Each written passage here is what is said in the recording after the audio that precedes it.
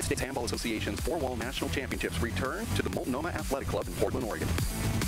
Martin Mulkerrin is the men's top seed, seeking his first U.S. national title, while Catriona Casey comes in looking to cement her legacy as the greatest women's player ever. After missing the Nationals last year, she's back and chasing singles title number six. Meanwhile, Sean Lenning has won a record 12 three-wall titles, but is still looking for his first four-wall crown. Champions will rise this weekend at the 71st USHA Four-Wall National Championships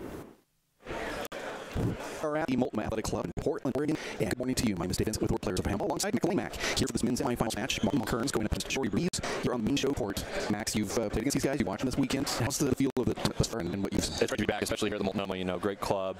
Um, Martin played David Walsh in the quarterfinals, looked very dominant. You know, David had some good rallies, but overall Martin was too strong, too consistent, and um, had a close match with Sam Esser. A couple close games, I think 17 and 19, um, but always looked in control and pretty dominant, so should be a good one. You know, we spoke with Martin right after his quarterfinal win over David Walsh yesterday, and he talked about what it uh, he took away from that victory over Shorty Ruiz in the 2021 Nationals in Nashville, Tennessee. This is what Martin had to say.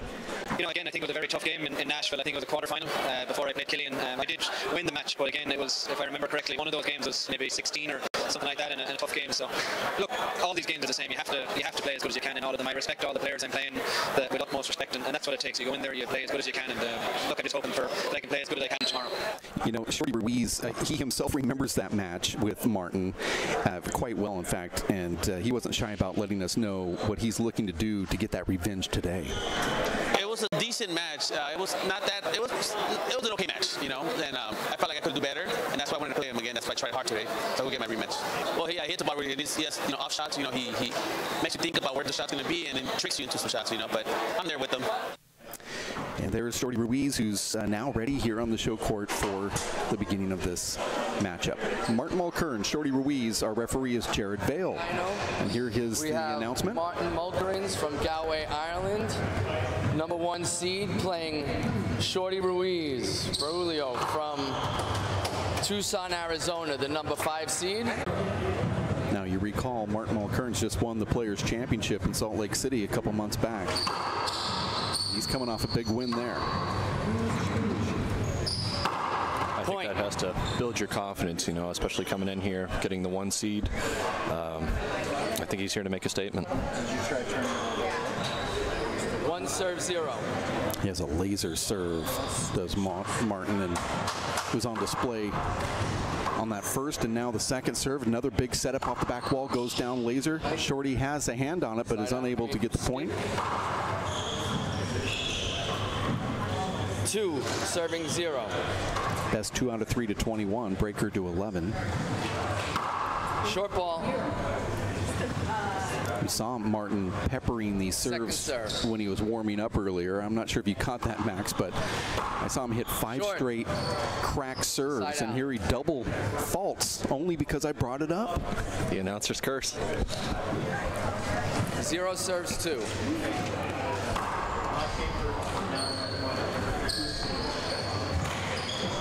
Skip. Looks like both players going to maybe a hard power serve to the left with a little bit of reverse, trying to use that glass to their advantage.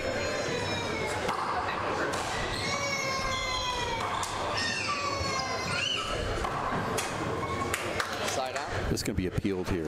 Sorry. Both players staying exactly where they're at. Disagree.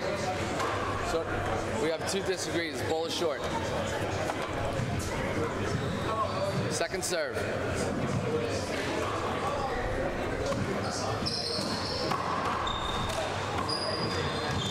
Hold it. Contact.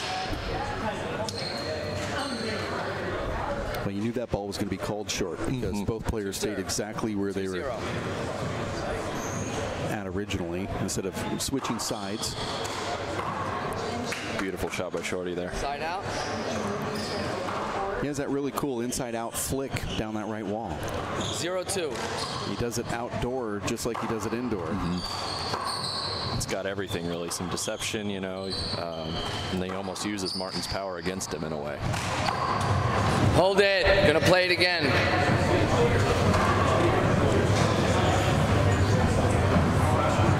That was a pretty close one right there. I'm not sure Zero if that was completely a hinder or a screen.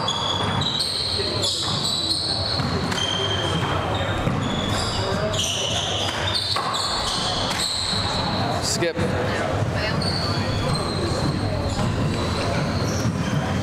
Two zero. Kind of an interesting look as you browse down through the semifinal bracket and you see that two guys from Ireland and two from Tucson, Arizona. Respective uh, handball capitals on either out. side of the pond. And then you look at the women's semifinals and see the exact same thing. Two from Zero, Ireland, two. two from Tucson, Arizona. It's a nice uh, testament to kind of maybe the balance and uh, on both sides of the game.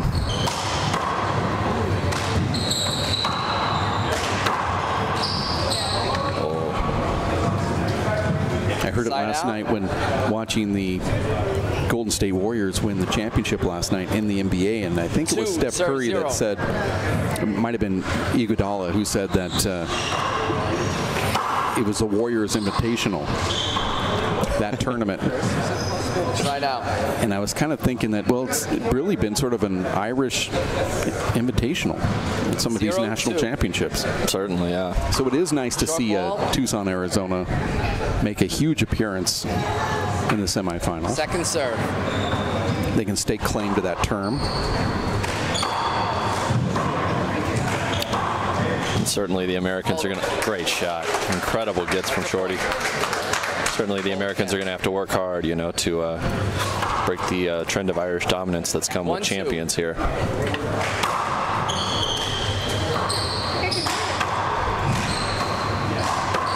Hold it.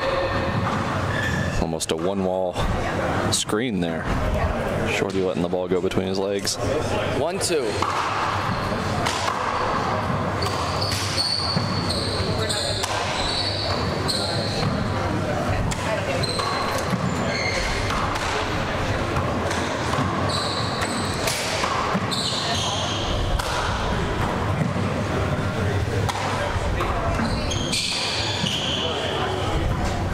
Side out.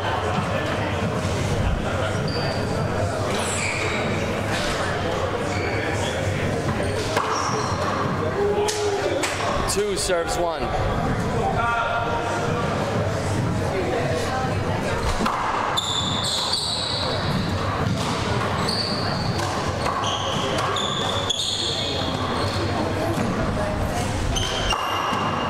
Nice finish from Shorty. Great footwork to set that Side up. out.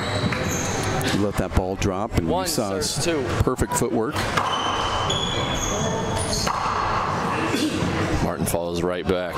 Side out. It was a horrible serve from Shorty, who's one of the best servers on the tour. He is, yeah. Serves one. He's got the ability to hop it both ways, you know, hit it with power. Now he left that one up.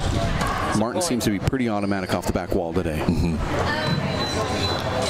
Make no errors with Martin Three serves one. because he's going to punish you. Short.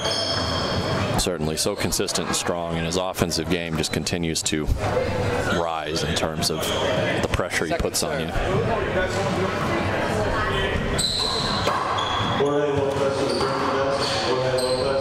Shorty needs to execute here. Nice dig.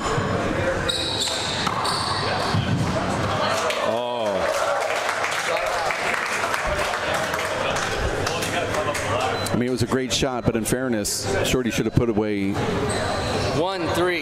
that ball two shots earlier. Short. Mm-hmm. He made an incredible get on the back wall,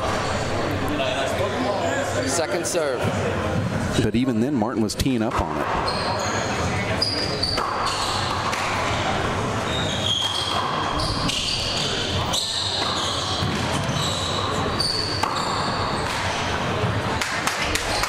Such soft hands, Max. You played him outdoor on the three-wall courts, also indoor. Mm-hmm. Well, he possesses such a great mix of uh, Three. power and touch. You know, when you're playing him outdoors and there's no back wall, I mean, the ball's coming at you with hop and speed, um, and then the minute you give him something soft because you're just trying to get that serve back, he'll showcase that soft touch into the corners. And then he goes with an overhand tomahawk right there from the deep court, and that was one of the best shots that you've seen in this tournament. You know th- how hard that is to do from that angle? He was right on the right wall, and he hit it right back down the right wall with an overhand chisel. One of a handful of players, really. And to go for it in a pro level match, too, is tough. Big setup off the back wall, and the ball hits Shorty on the way by. Those are the type of shots that you just can't have Three happen serves three. Mm-hmm. if you're going to win this thing. Unforced errors. Point.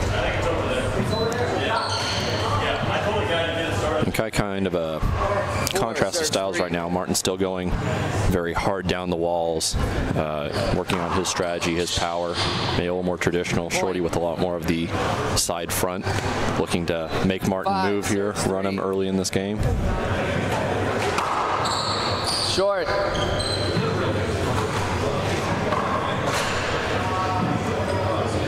Second serve.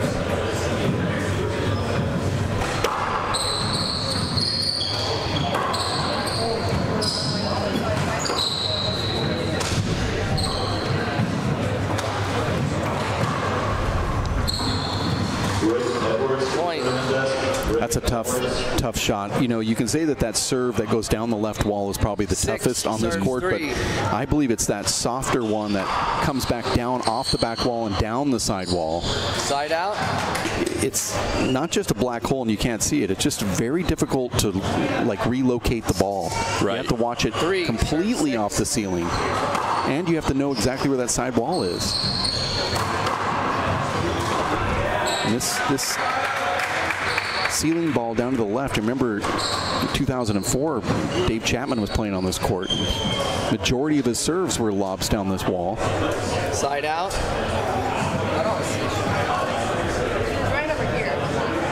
Six serves three. and it became an offensive shot for him. It's a point.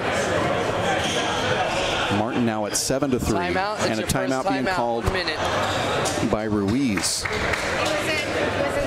Good call for, from Shorty there to call the timeout. You know, I think uh, really needs to focus on maybe not making the hand errors, maybe trying a couple things too much. Shorty comes in as a number five seed. He's five foot eight, resides in Tucson, Arizona. His home court is the Tucson Racket and Fitness Club. His highest ranking on the Pro Tour, the Icebreaker Outdoor Series of 2021, where he was number two. His best shot, you were talking about it, his tap fly kill. I guess that's, you know, it's one of those things where is that what you really call it? It's kind of say a so. flop shot, mm-hmm. but it is amazing outdoors. His, and he does it great inside. We've seen it already today. Power, unpredictability. His uh, his shot making is so difficult to play against because you have no clue what he's going to do. I don't think he even knows until he does it. And, I, and he's just hard to predict. His fly kill ceiling shots are great. His favorite player, LeBron James, biggest win, three wall, or a three time three wall ball outdoor world championship in Las Vegas. That's Shorty Ruiz. He calls the timeout. He gets the the press on the bio. Martin just goes over the top on that ball with his left hand. Eight serving three. We're now at eight to three. Have a point. Appeal. That might have been short. Agree with my call. They both saw it good. It's a point. Nine serving three.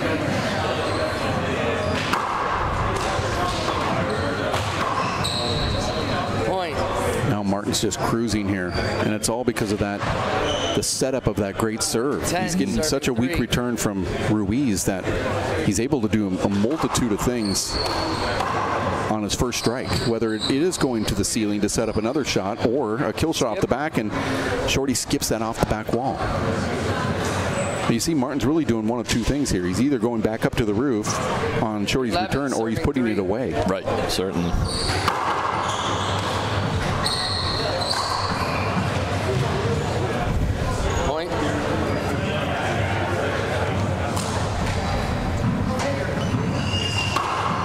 Serving three. This is a 9-0 run from Mulkerrin. Big setup. Side out.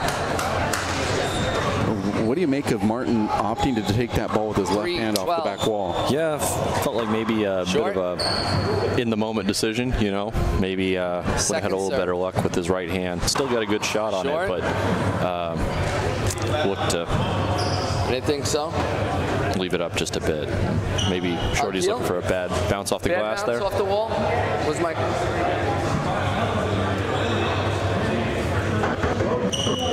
Martin's wanting to give this serve to Shorty, and Shorty says, I didn't nope. think so. They thought the bad bounce was off the glass in the front 12 wall, I serving believe. three. On that second serve that drove the ball down and created this the double fault. Side out. And it can happen here.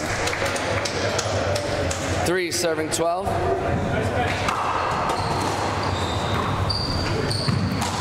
Shorty thinks that was short. Appeal. Agree with my call? What? I, I can't hear you. Yeah. Okay, I didn't see it. Second serve. They appealed, and the line judges thought it was good, but Shorty's said it was short. So did Martin. They overruled the ref.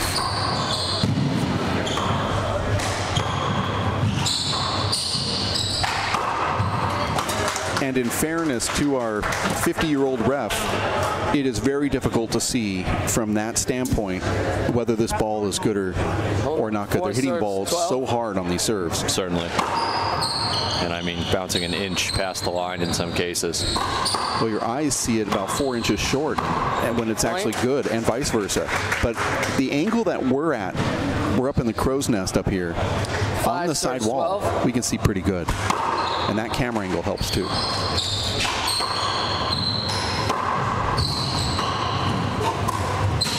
Seeing good sportsmanship from both players here early. There's a bad bounce off the back wall. Nope, Shorty put his hand up. Six, 12. Point.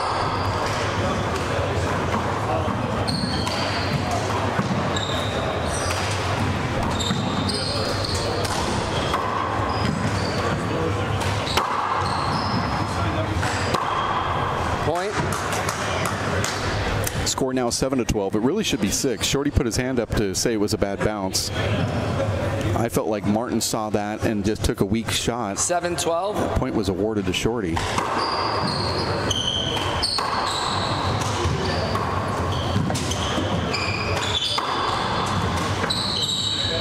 Beautiful two all. Great power from Martin there. Side out.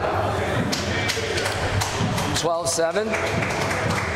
That's the type of shot that Paul Brady made a living on. It's a point. If you're a young player and you want to learn 13, how to add points to your game, learn that two-wall pass. And in this case, it wasn't even a pass. It was Second time two out. you wall got one right at the feet of Shorty, and he just couldn't do anything with it.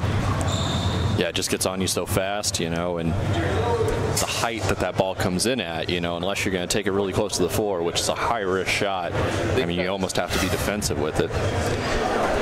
You can see our number one seed, Martin Mulkerrin, six foot tall, but he feels like he's six four. He has long arms. He has a wide stance. Galway, Ireland is where he resides, his home court in Moycullen. And his highest ranking is number five, although he's felt like a number one for many years. Five seems rather low. He doesn't play in a lot of the tour stops. That was January 2020. He did just win the Players' Championship with the WPH just a couple months back, and he won that. His back wall kill, probably his best shot, but like I said, that two wall pass, I mean, you can't get any better, really, than what he has. His power, his strength, consistency, favorite athlete, Joe Canning, he's a hurler in Ireland. His biggest win, the 2018 All Irelands. 14, serve 7. You can see he has a couple big wins with the WPH on the tour. Point. One back in 2019 and then earlier this year. 15, serve 7. And also the consistency that Martin's had in the uh, U.S. Nationals. I mean, he's been to Point. three finals, I believe, and Yeah. typically a pretty much a perennial semifinalist. So, 16, you know, serve I know seven. he's looking to get over the snide and, and get back to maybe a championship here. I'm sure he's looking for it, but um, really a testament too to how great he's played over the years. Oh my goodness, are you kidding me? So point.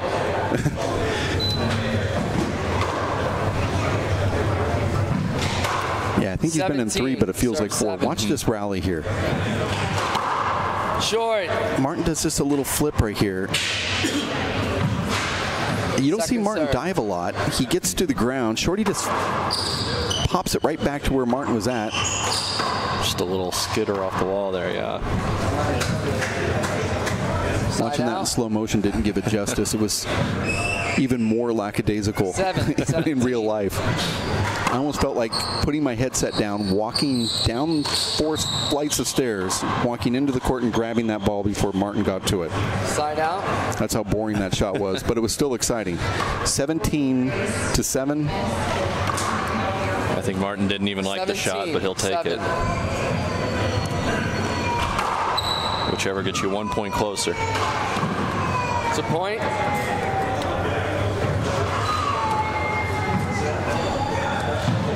Eighteen, seven.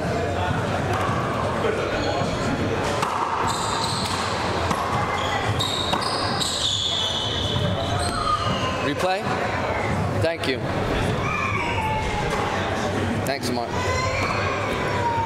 18, 7.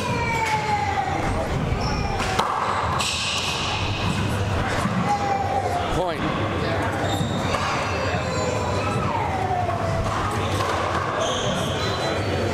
Nineteen, seven. Short ball.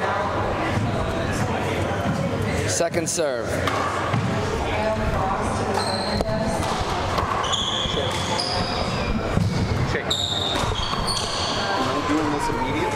Beautiful dig by Shorty there. But Martin just too strong, too in position and ready to go. Game point, serve seven. I'd say just go for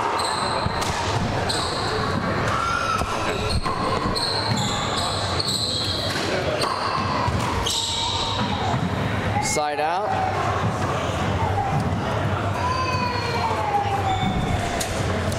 Seven, serves 20. Short.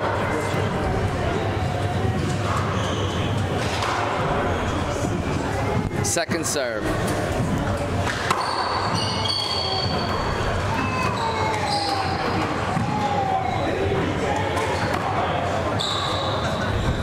Beautiful left Side hand out. corner kill.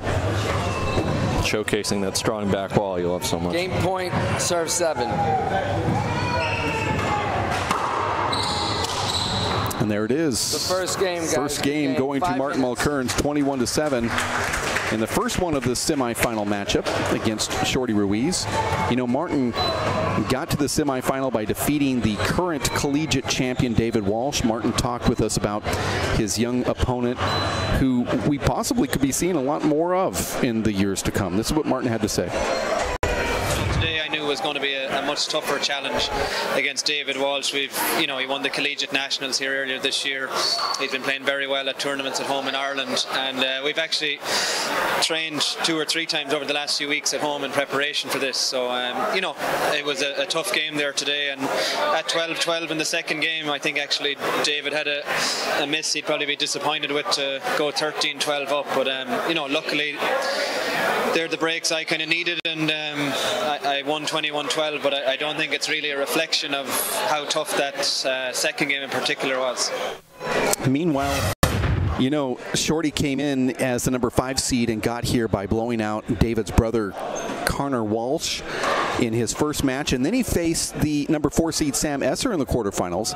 Shorty and Sam both live in Tucson, Arizona, play each other a lot, so it's no surprise that they had two close games. Shorty took the first one 21 to 18 and held off a late rally from Sam to hold on for a 21 to 19 win in game number two. Here's a look at that uh, with some of the action from that match. And then we'll take a look at the bracket. And there it is. Martin Mulkerrin beat Arthur Syed to start the round of 16 and then got past David Walsh. Shorty over Ruiz in the quarterfinals. But before that, it was Connor Walsh who he had to defeat. Two fairly easy games. And that's what led to this matchup. And you look at the bottom bracket, you have Dermot Nash and Ray Ur going up against each other there. And it was Nash who was the victor, and then Sean Lenning defeated, well, you. Yes, yes. Still. Uh, and how did that feel?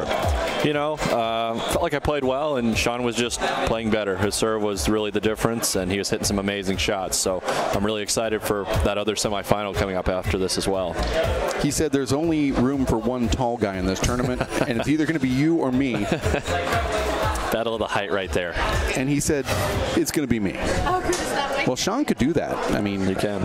You know, we can talk about this later, but because we're in the middle of this match. But Sean Lenning has this strange ability that I haven't seen really any other player do, where he can just go into a clampdown mode in the first six points of a match. Mm-hmm or at any time during the match. But the first six points, he just decides, I'm going to close this out. And you wonder, you go, it's t- two minutes or off, and I've Right. already scored zero, and he's got eight. Right. I was like, oh my gosh. Yeah, and that's that's kind of what yesterday felt like. I mean, I feel like a lot of players try to maybe feel their way into the first couple points, get a get a feel for what their opponent's going to do, and I mean, Sean yesterday was willing to come in and just put the pressure on from point one. So it's a bit of an adjustment, but uh, you know, always good to get that experience, and we'll look forward to playing him again. But uh, between him and Nash, I mean, I think that could be a real scintillating matchup coming up. Yeah, I find that as the matchup of the day and possibly even the tournament. I mean, the finals, no matter who's going to make it to the finals in the men, is going to be intriguing and it's going to be very good.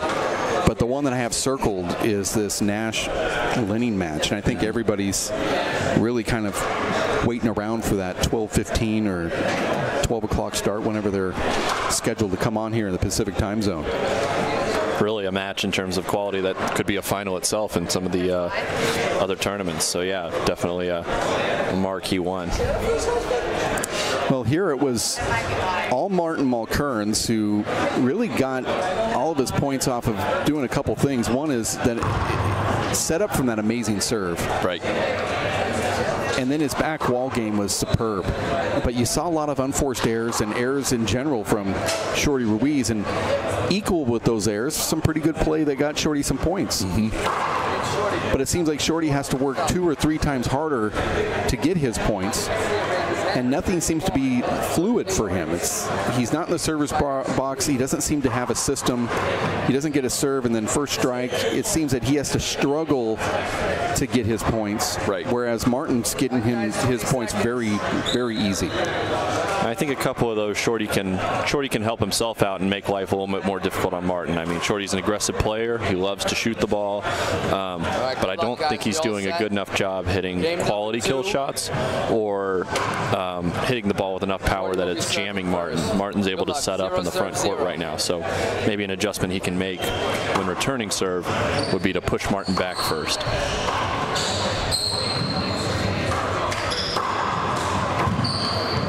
This is where Martin is dangerous. Side out. And that's why you see that that back wall shot is really his best shot. Zero zero. The way he sets up for a ball. It's a point. Yeah, just does an incredible job of that quick shuffle, One turning his hips and driving a lot of power from the legs. It's beautiful to watch.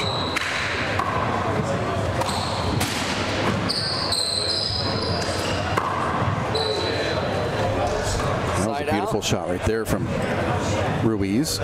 Zero one.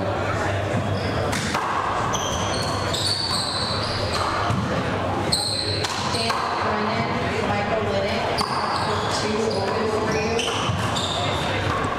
It's a point.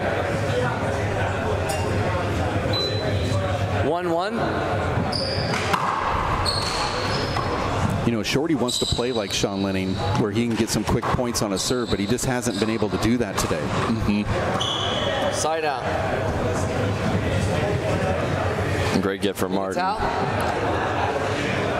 Martin towel. No. Shorty maybe being a little bit too finesse there. 1 1. The problem with some of those overhand drop shots, it seems sometimes, is as the ball is falling into the wall, it kind of gives your opponent more time to read it. Side You hit it any harder, it's going to come back up. Martin One, doesn't one. seem to be fooled by Short. anything he sees here. Whereas you and I could Second play shorty every single day and still be Short. wondering what the heck is going to be the next shot. Certainly, yeah. I think that comes with the confidence that Martin's in 1-1. superb shape and he can kind of overplay and play up front. And that takes away a lot of Shorty's tools. Mm-hmm. That's a beautiful underhand paddle right there into the corner. Point. I mean, really good shot. 2 1. Daniel Brennan. Michael Beautiful crack serve. Court 2 is available for you. Well, that's what Martin was doing in warm-ups. 3 1.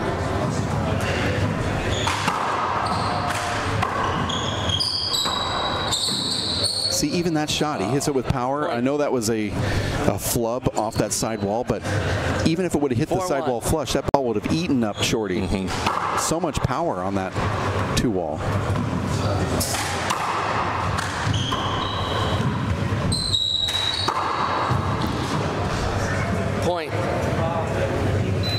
Especially for a player like Shorty who wants to hold that front court any chance he can get. That two wall is just going to keep moving him back, 5-1. getting him off balance, opening up more opportunities. Short. Second serve.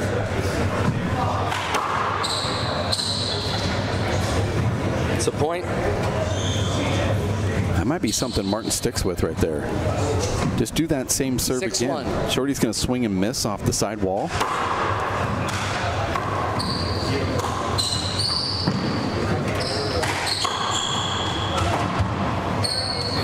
Great dig. Side out. A nice left hand from Shorty there.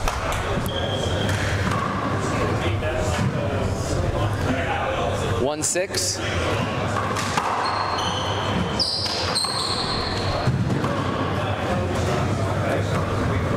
Side out. Need a towel. Not sure if there was a little wrinkle on that ball down the middle, but it fooled Shorty.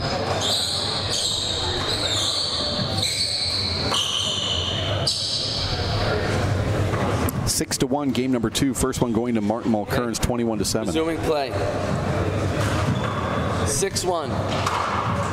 And it's been methodical. I mean, both games so far, Short.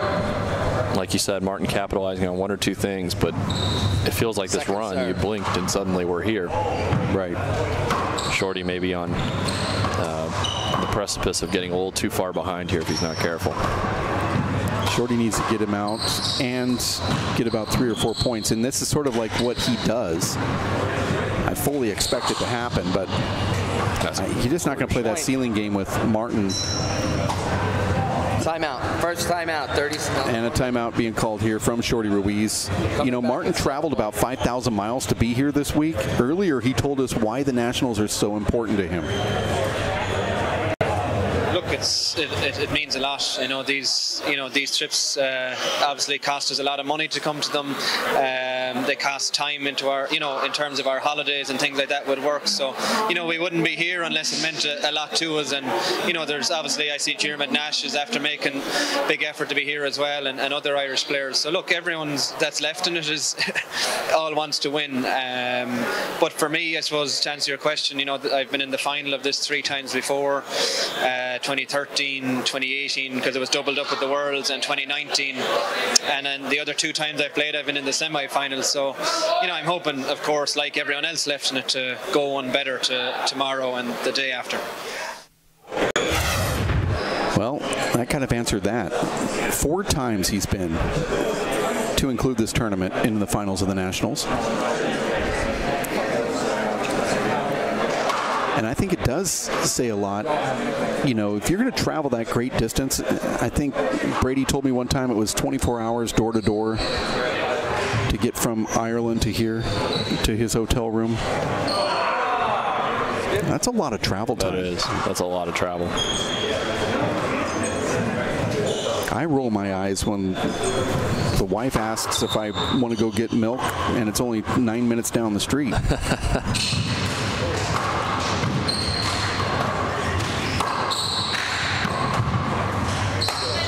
Side out.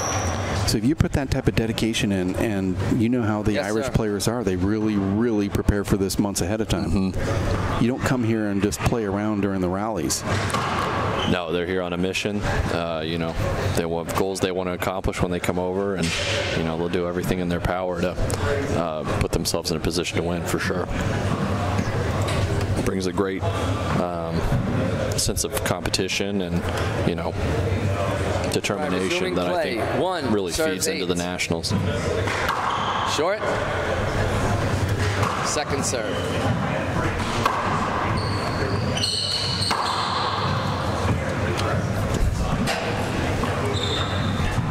Eight one.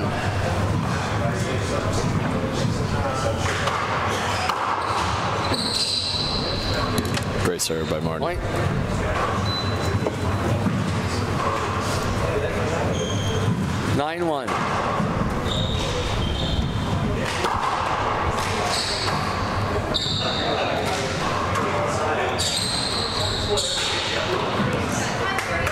Side out.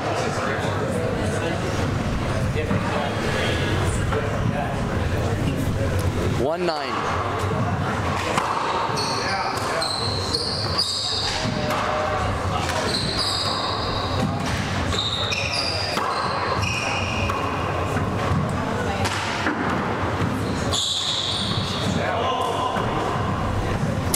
Can't miss those. Side out. Finally get a chance to serve, and then you Nine make one. these unforced errors.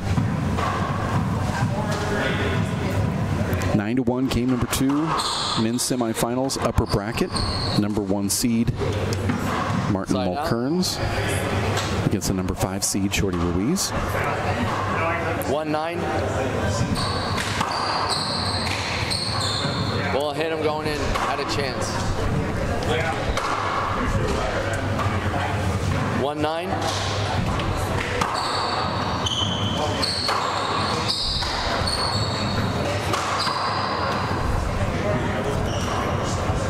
Side out. Nine one.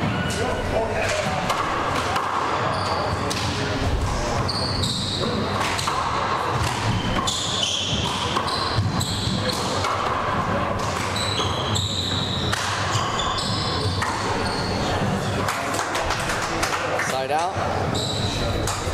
Good to see Shorty grind out a side out there. Yeah, One nine. especially to hang on after that beautiful natural by Martin on his serve. Really fought hard to get that. You know, Shorty has such a great serve, but we're not seeing any of that greatness yet. I know that he has to get into that server's box to maybe hone in on it. Shorty's also playing in the 35 singles where he's in the finals, and he's had a couple rounds there as well Nine serves one. In these national championships. And that's just me making an excuse for him. Point. But sometimes the more you play, the less rotation Ten, you can get on that one. ball and your hop serves. Yeah, it is fatiguing, and there's a level at the Nationals too that's uh, pretty high intensity. Ball short. Thank you. These aren't your Second average, serve. typical weekday practice matches. Every player here is, is fighting hard for every point. Shorty going with that overhand tomahawk. It was successful in the first game, but not here one. in game two. 11 to 1. You can certainly feel the frustrations building. Might not see that serve again from Martin. One eleven. I like Martin kind of going to some of these other shots in his arsenal just to test them out. Mm-hmm. I mean, he certainly does respect the game of Shorty, but he's at a point where he can try a couple new things. Eleven. You might not one. see that overhand serve again from him to the right. He's back to the hard serve again. Second serve. Now we saw an unforced error earlier on this serve.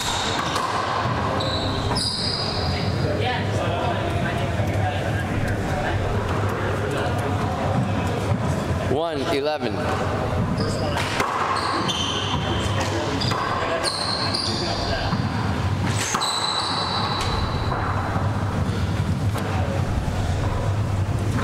Thought that might have been Shorty's best serve that I've seen. but 11, 1. Not able to capitalize on the follow up.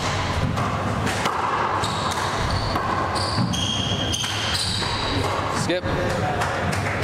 Matthew Derry and Elias Albert. Court six is open. 1, 11.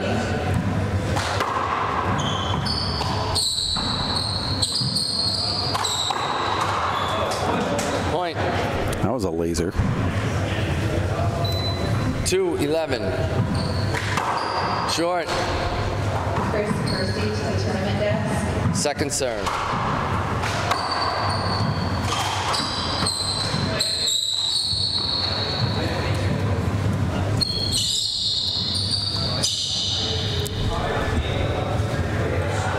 Side out. Looked like Ruiz had the perfect setup for that ball and then 11-2. slid or skipped or s- slipped or something over there on the left side. I'm not sure if you were able to see it, but something happened. Yeah, well, looks like he lost his footing out. there. 2 11. Short. Second serve. Short.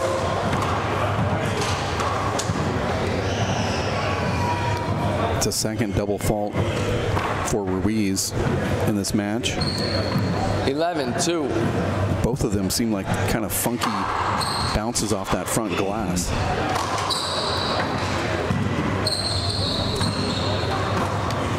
Point.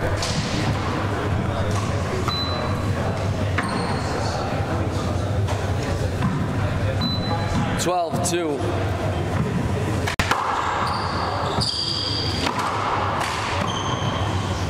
Point. Martin's setting up on the left here. 13, Looks like he's going to go with that Z serve. Instead, he pounds it down the right wall. And then this time he comes back Side with the Z. And Shorty puts it away. I don't think he Two, mishit that first one. I think he was actually driving that down the right wall. I agree, yeah. That little poke down the right wall from Martin when he's on defense has been pretty effective. Shorty standing up front. 13 2. It's almost like the ball just goes by Shorty before he has a chance to get over there. Mm-hmm. Martin's got so much power inside out.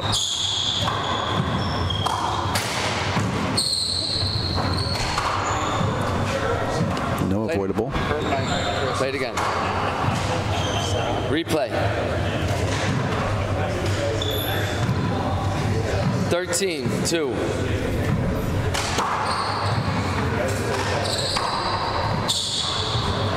Thank you. by Two Martin. bounces. Two, 13.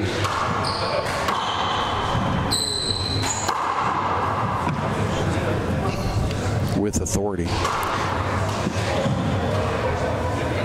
13 2. Short. We're in Portland, Oregon at the Multnomah Athletic Club. Second serve. You must love it here, Max. Oh, it's a beautiful club.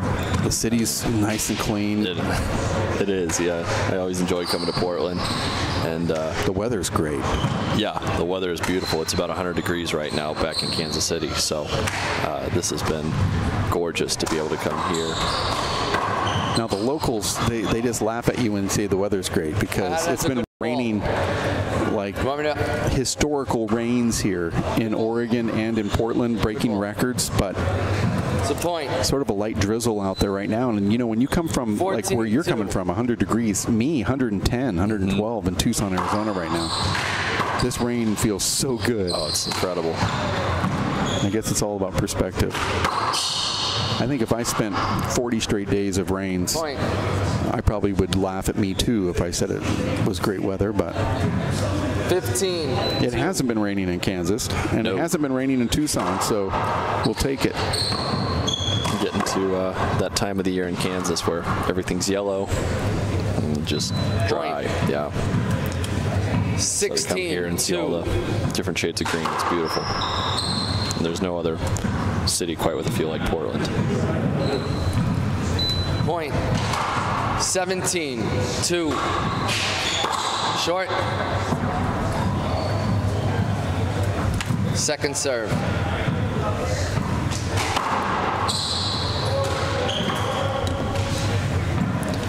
Point. 18, 2.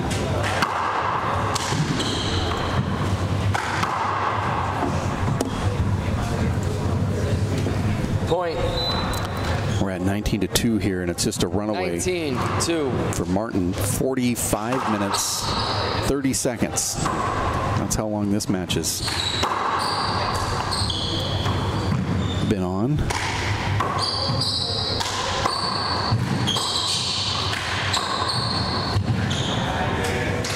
Side out. We've seen matches like this go as long as two and a half hours. We're only just now at the 46 minute mark. 219. And Max, you get paid the same no matter what, which is the best part.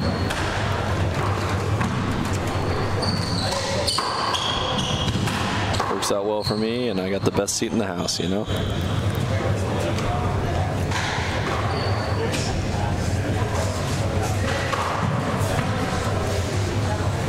Nineteen, two. Side out. Good return of serve from Ruiz, who only needs 17 here in this Two, inning. 19. That's a good serve. See if it can set up something off the back wall here. He made a quick foot adjustment, and he puts that ball down. Another point now for Ruiz, 3 to 19. 3, 19. And that was a good serve. I saw a little wrinkle there that kind of Second serve. may have affected Martin a little bit. Point. And he gets a crack serve here. 4, 19.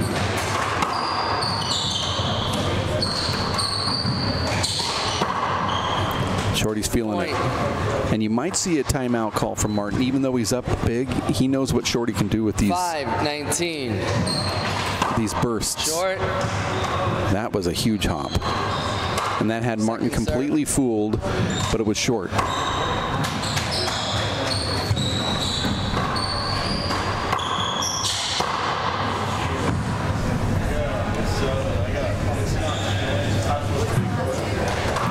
Nineteen, 5. Martin will be looking to close it out here. Yeah, he doesn't want to have to sit there and face those serves from Shorty again.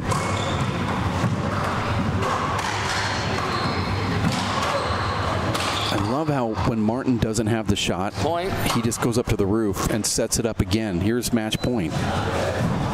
And the first time Match he has point. the shot, Serves he goes five. for it and kills it. Right. It's a great system. It's like Martin is Hold a it. combination of Tony Healy and Paul Brady. It's a good mix to have. Match point, 5. Could be it, and it is. Great game. Martin Mulkerrin defeating Shorty Ruiz here 21 to 7, 21 to 5 as he advances to the finals of the USHA four-wall National Handball Championships at the Multnomah Athletic Club here in Portland, Oregon. Let's go courtside, inside the court, I should say, with Kara Mack. Kara? Here with Martin, how does it feel heading to the finals? Yeah, great. That's uh, that was the plan coming over. So thankfully, just um, you know, not dragging it on too long there either. You know, just get in and out as quick as possible. Did taking that win in the Players' Championship give you any momentum coming in? Yeah, definitely. But I think look at it, it's, it's eight weeks ago now, or or two months around that. So um, you know, it, probably for everybody it was the last big tournament. So it's you know, usually there's tournaments quicker than that. So it, it's hard to know form until you actually are on the court. So I felt a, a bit better today. Uh, had a tough, very tough game with David Walsh yesterday. It was 12-12, and he had a bad miss probably to go uh, 13-12. So you know, I was delighted to get over that game and a tough one. I think it made me uh, sharper there today. How are you determining what serves to use in this match? kind of whichever one works. I suppose my game is kind of the low, hard uh, type um, game, but uh, you know it wasn't working yesterday. Um, you know, just too many shorts and things like that. I don't know, is this court a bit faster than that one or not? But um, you know, the the serves down the left today, I was just focusing on them a bit more. And when they go in, of course, it's tricky with the glass sidewall here. You're, it is tough for a player to, to see that, you know. And how frustrating is that when you go through those moments when things aren't working that typically work for you? What's your mindset kind of coming into the next match? Well, it, it, wasn't that. It was just that particular serve wasn't working. But you have to, you know, that's that's experience too. You have to adapt, you know, and change the server. If, if something's not working, you can't keep doing it. You have to change. So that's, you know, that's what I did yesterday. And today, even when, you know, I was stuck on three at the beginning of that first game, it was three-three, and I think I might have moved over to a three-wall or a lob serve just to move to six kind of quickly. But sometimes even within a game like that, you just have to change over for a few minutes. And great job. Yeah, thank you. Congratulations. Good luck. Thank you. Thank you. Yep. Thank you very much, Kara. There he is, our victor, 21 to seven, 21 to five. Martin Mulkerrin is now in the finals of his fourth USHA four-wall national handball championships as he defeats Shorty Ruiz. We're going to take a break. We'll be back in about seven minutes. It looks like uh, before Dermot Nash and Sean Lenning go up against each other. I don't know if you want to stick around for this or you have things to do. I'm happy to if you need. I'd me. love to have you back. Perfect. We have Max Lane Mac back with us here in seven minutes. My name is Dave Vincent with the World Players of Handball for the United States Handball Association's Four Wall National Handball Championships in Portland, Oregon. Stick with us. We'll have more handball right around the corner.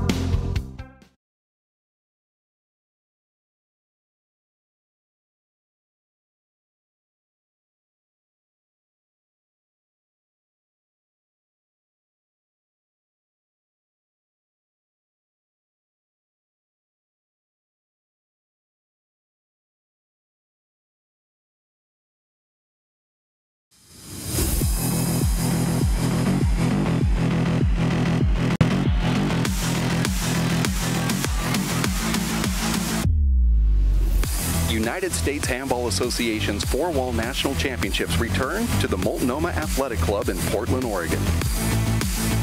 Martin Mulkerrin is the men's top seed, seeking his first U.S. national title, while Catriona Casey comes in looking to cement her legacy as the greatest women's player ever. After missing the Nationals last year, she's back and chasing singles title number six. Meanwhile, Sean Lenning has won a record 12 three-wall titles, but is still looking for his first four-wall crown. Champions will rise this weekend at the 71st USHA Four-Wall National Championships. And here we are on the show court. My name is Dave Vincent alongside Max Lane Mack with the World Players of Handball for the United States Handball Association's Four-Wall National Championships at the Multnomah Athletic Club in Portland, Oregon. Sean has played Dermot Nash once before in Missoula, Montana. Max, you might remember that. He spoke with Kara about that a little bit earlier. Do you remember the last time you played Dermot? Uh, the only time, I think, um, I do. That was kind of a ugly slugfest, if I recall. yeah, I do. Anything you learned from that match that you're going to be thinking about in this one? Uh, no, I mean my my kills are going to have to be low because he's got the. It's one of the few guys that can re-kill the ball, so that's a little annoying. So I'm going to have to roll him out, I guess, and uh, be wary of his tricky little serve down the right. But um, yeah, try not to think of my opponents too much. I think you know Sean nailed that that that serve down the right. The fact that he even knows that that Dermot has it is a big thing. Certainly, yeah. That's, uh, I mean, that's a real great changeup uh, compared to his other serve down the left. Really keeps you on your toes. Well, these guys are about ready to get underway, and our referee will give the announcement here.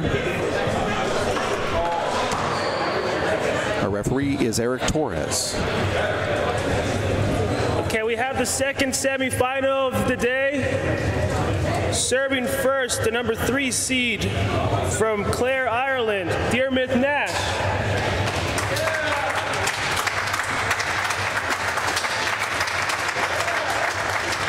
And receiving serve from Shoreline, Washington, the number two seed, Sean Lenning. Dermot Nash is quite possibly the hottest player in handball right now. Hey, can, uh, can you guys give me some linesmen on there? Give me a hand. We need two Coming off that amazing victory, the All Ireland Senior Championships. Hello? Abe? All right. We'll just start it off like this. If there's a little, uh,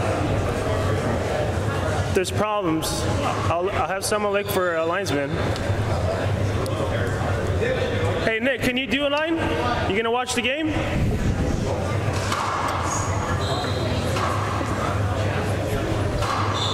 Okay. Zero plays zero.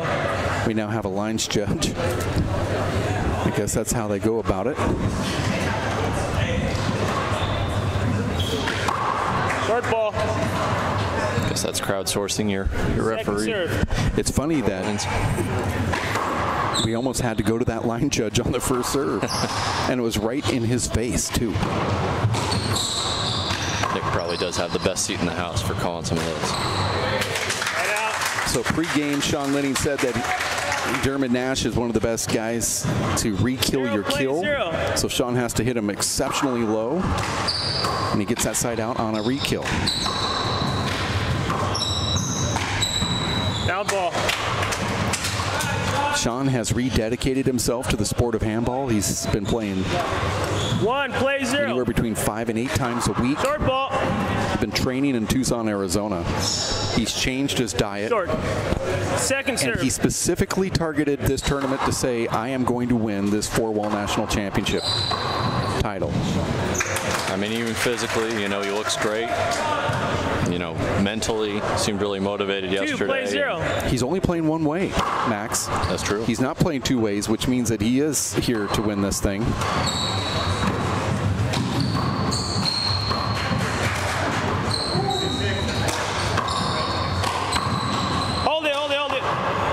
Done pretty much everything on Play the that over. handball court since he was 13 years of age.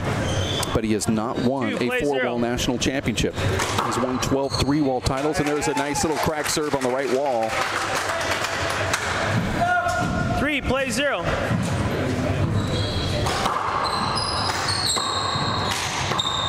Look at that shot.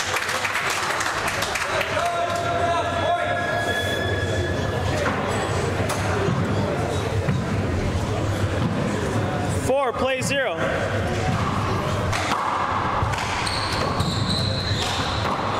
Unbelievable from Sean Lenny.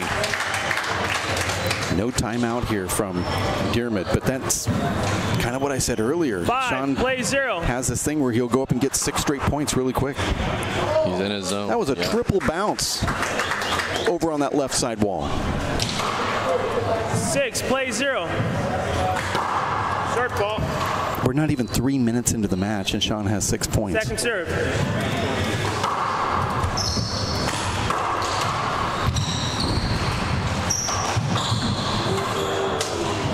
Smart two wall from Dermot there. And you'd say, well, why is Sean overplaying that shot? It's, well, because he knows that Dermot likes to go right back with offense. Zero, offense. play six.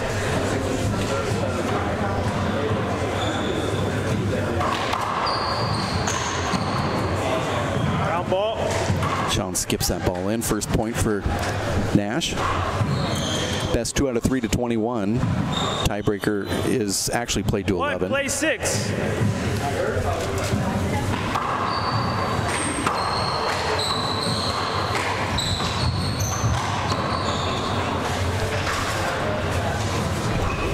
And that's kind of the style that you can expect from Jeremy. You know, he's going to hold that front court and that beautiful Two, Irish whip six. underhand.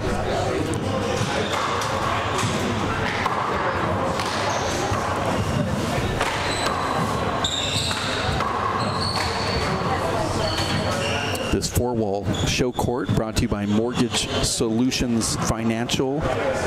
Six, play two. Our good buddy Nadi Alvarado Jr. and his family's firm down there, Nadi.Alvarado at mortgagesolutions.net. And Sean misses his little dump in in the front court. Two. Hold on. Sean, uh, I think you're bleeding, bro.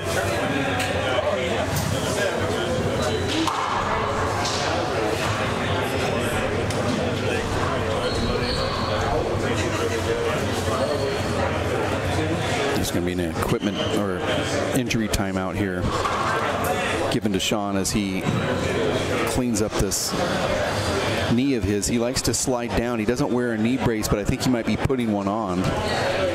Or maybe just putting tape on it. But Sean has this ability when he slides down. And you played against it, you know, Yep. you saw it. He'll slide down on one knee and he'll scrape up that knee. It's sort of like it's been the same scrape for about 15 years. You know, earlier we were talking to Sean about Dermot, but you know, Dermot Nash also remembers meeting Sean Lenning Montana, and uh, this is what he had to say to Kara about Sean Lenning and that matchup from last from last tournament. Uh, yeah, I played him in Montana in 2018, I think. Uh, 2018, 2018, 2017. But um, yeah, it, was, it went tiebreaker. It was like, um, I remember the score. It was like 15 13. It was like three best 15. But it was, uh, I, I busted my shoulder in the second game, basically. So, or my AC joint, my left hand. So it wasn't really, uh, yeah, it's hard to know, to read too much for me, you know what I mean? Um, but yeah, it was a good game. And he's probably even in better shape now. He's probably kind of more dedicated to handball. So this will probably be tougher again. So we'll see. That's definitely tougher. Sean now in the middle of an injury timeout as he's trying to clean up this right knee of his that's bleeding. And it's not a major injury, but they're not going to have a player come into the court that's going to be bleeding all over the place, so he has to get this cleaned up. You see that Sean's frustrated right now because he can't find something to stop the bleeding and it's just going to continue to keep doing it. He tried to put tape on it, but he's sweating too much. I always found a sock worked really well. I don't know why, but uh, a knee length, or not a knee length, but a regular sock. It's kind of the perfect balance. He put a band-aid over it. Now he's putting some tape around it. It's hard to put tape around your leg when you're playing. Yeah, it kind of tends to grab and feels very uncomfortable. Sean Lenning, six foot two. He is living in Tucson, Arizona, although he's from Shoreline, Washington, just up the street. Tucson Racket Fitness Club. He's been ranked number one back when the race for eight first started. Sean had that number one ranking. Off balance kill shot. In fact, every shot is Sean's best shot because he's good at everything. His serve, his offense, power, overhand drives. His favorite athlete, Rickey Henderson, which totally surprises me that that would be his favorite athlete. 12-time USHA three-wall pro singles national champion. And he's looking to make 13 this year. And he's also trying to get number one on the four-wall national championship list. And he said that he's going to do it. I mean, he really believes this is his year.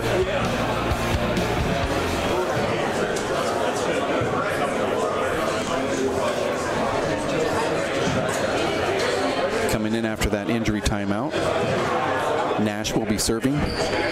That's one way to slow down the onslaught from Sean Lenning is to make him dive for a ball and scuff up that knee again.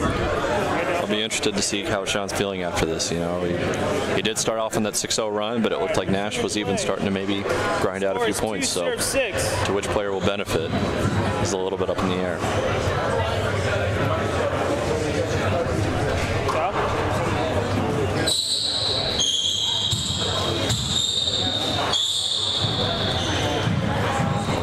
Sean taking charge there. Okay, 2 6.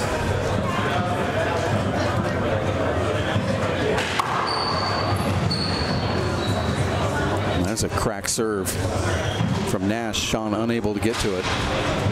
3, play 6. Short ball. There's that sneaky serve to the right. Second serve. Very deceptive.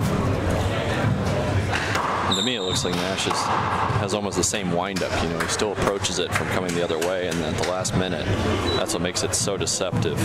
Such a great six, serve play a three. changeup. Hold it, hold it. Yeah, you're right.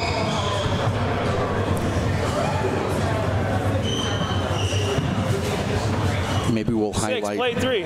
that serve a little bit more when Nash gets back in the box, but you just never know when he's going to serve to the right. Mm-hmm. It's hard to bring it up because Second serve. he's got a whole bunch of different things he does in that service box. But like Sean said, it's a sneaky serve, so he just throws it out there and gets you sleeping. Right.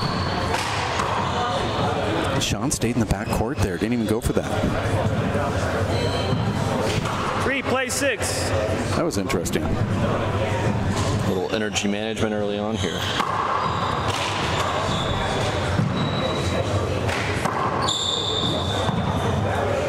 I saw the ball good. I saw the ball good. It agrees. Point.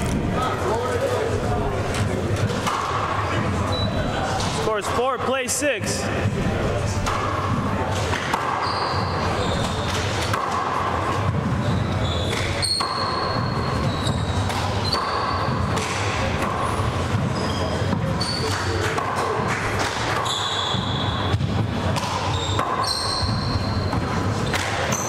Wow. That ball skipped in. The ball seems to be Score six, third somewhat score. dead in the back court. Are you seeing that same wave? A little bit, yeah. I know when I played Sean yesterday, it, it, it felt slower than I thought this court would play.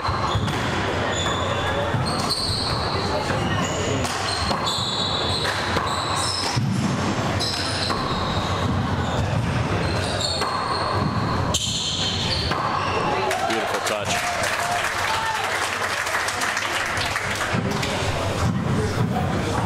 I Seven, think there's play an interesting uh, strategy going on here early. Looks like Jeremy wants to extend some rallies, maybe test Sean's fitness here. We'll see how all that off-court preparation serves Sean. Well, I think those in the Lenning camp would tell you that that's a good strategy because Sean's in the best shape of his life. that's got to give Sean confidence here as we continue on in the first. Seven plays four. Short ball. Sean cranks that ball, but it's short. Second. Two bounces. Eight to four. Score is eight serves four.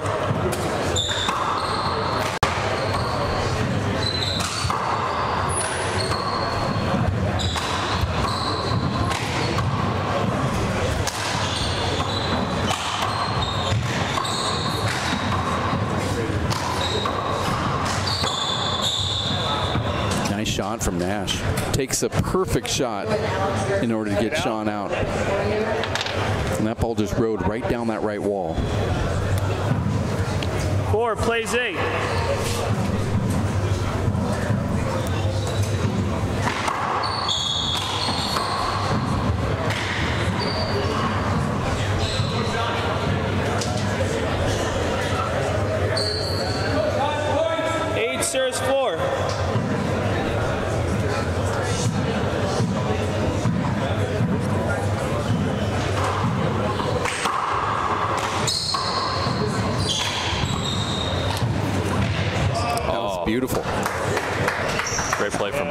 both players. Sean had me totally fooled on the corner kill, but not Dermot.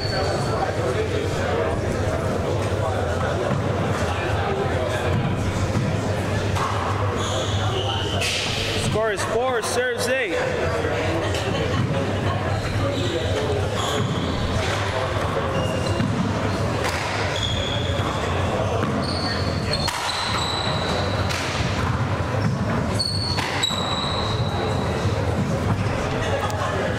That was perfect.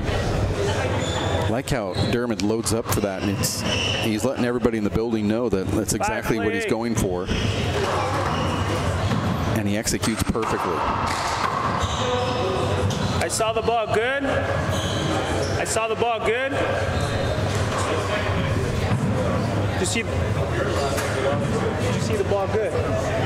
Yeah. Did you see the serve? Unbelievable. The referee is. Someone tell him. This is unbelievable. We have a line judge that's asked if the serve is good. It's good serve. Score is six, serves eight.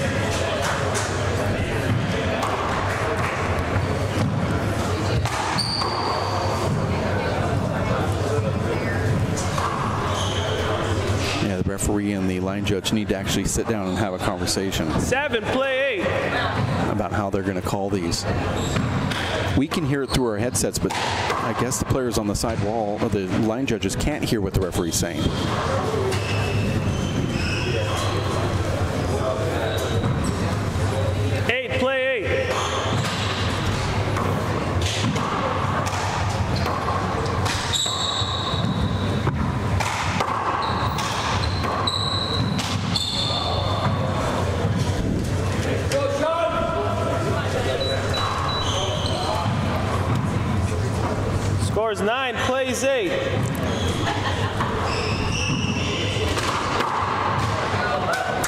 Take long, but Nash caught up to Sean and is now taking the lead. Sean had that nice 6 to 0 lead before Nash scored his first point. Eight, now Nash has nine. scored nine out of the last 10 points.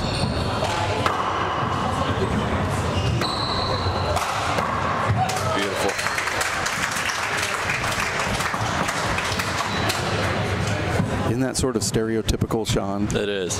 There's such a thing as a textbook Lenning Together shot. at That was it. He has a few of them. That's true. Ten, play nine. I love that fadeaway off balance right corner kill that he has. That would have also been a textbook shot too if he would have made it. You can see the creativity Nine plays just 10. inherent in everyone, or in every one of those shots.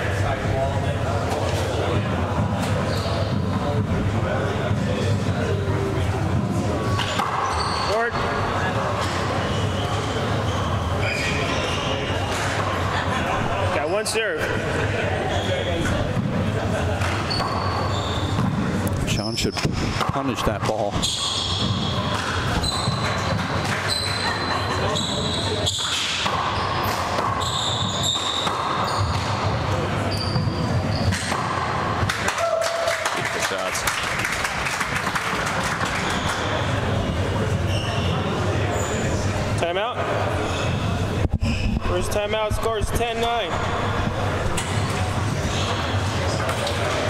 Uh, It's been kind of back and forth here for the last few minutes, but prior to that, it was Sean Lenning jumping out to a six to zero lead. Then Dermot Nash jumped out to a nine to eight lead after a nice comeback. Dermot, five foot ten, resides in Dublin, Ireland, his home court. You can see the graphic. I mean, you talking to these other players, they say his serve is unbelievable, but what he does up front with his underhand paddle shots are really kind of what gets the points for him. I mean, he's a great hustler, and we know that he has really good defensive and offensive shots. He seems to be really steady. Kind of reminds me of like an Owen Kennedy, but a left-handed version of mm-hmm. Owen. He's a get artist. He has great hands. He's really just one heck of a good player. On and off the court, he's a great guy. Favorite athlete is Roger Federer. His biggest win, the Irish Nationals. He did that twice, but I all Ireland senior championships this year. Might have gotta put up that on the list. That might be number one. All right, time in. The score is Score is 10. Nine. Serves 9. nine to ten. Sean Lenning serving, or is it ten to nine? The other way around. Make that eleven to nine, Play that over. 10 9. or we'll just play it over.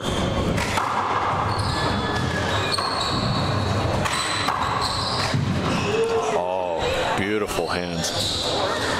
That's the one thing I like about Nash's game is that his right hand is not a deficit. No, not at For all. a guy that's a lefty, he's no slouch with his offhand. He's just as dangerous for sure, and, and he plays as smart as he does with his right as he does with his left too.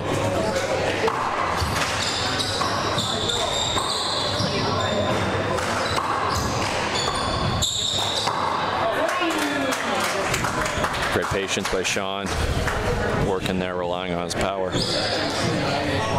Side out. 10 serves 9.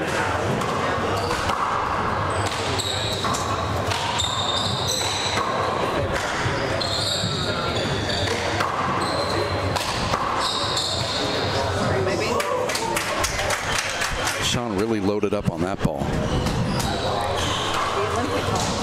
11. Play 9.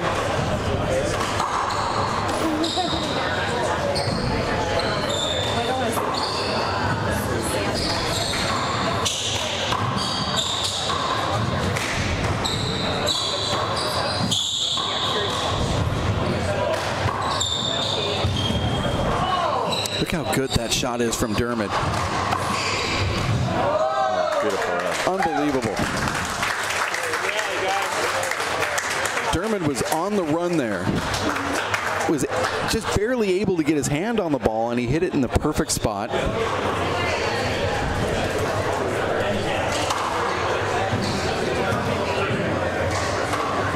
That was a side out. The score is 9. Plays 11. Sean was really huffing after that rally. Short ball. I can do the icebreaker or Ashland Second serve.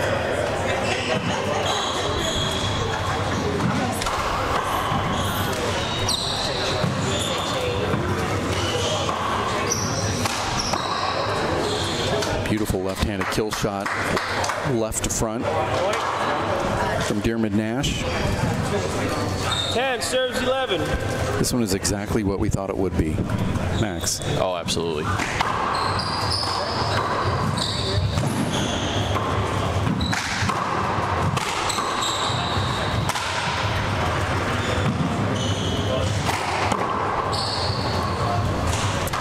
Point. Really, he's executing. I I think he's only missed one of those shots that he's gone for, where he dipped it in and then talked to himself as he retreated back to the Together at 11. returners area. But other than that, he's made every single one of those left-handed kill shots. And now he's up for the first time in a while, 12 to 11. first time, yeah, since being up 9 to 8.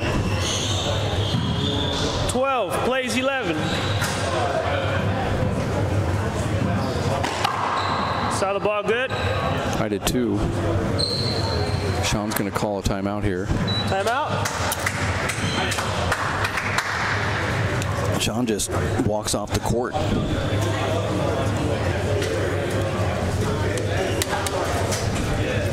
You're watching the four-wall handball national championships in Portland, Oregon, at the Multnomah Athletic Club, where game number one has Dermot Nash up 13 to 11. Here on the show court, brought to you by Mortgage Solutions Financial. Our good buddy Naty Alvarado Jr. Were you playing on the tour when Naty was on the tour? Did you just kind of? I kind of came in after. That's I, too I bad. definitely remember seeing some videos um, of his time on the WPH tour, and I mean, incredible matches all the way around. You can contact Naty at nadi.alvarado at mortgagesolutions.net. His mom, course, his, his father, greatest player of all time. Naty was no slouch, soon to be inducted into the USHA Hall of Fame. That's not some type of inside scoop. I just know it's going to happen someday.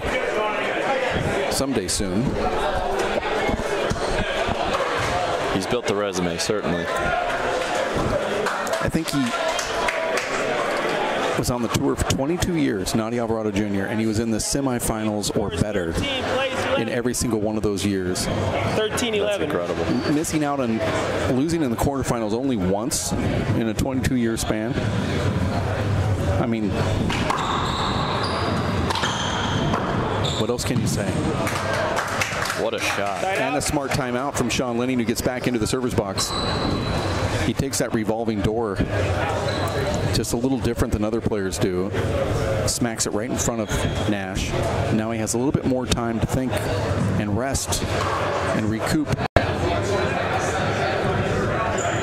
This almost looked like it was off the other side wall.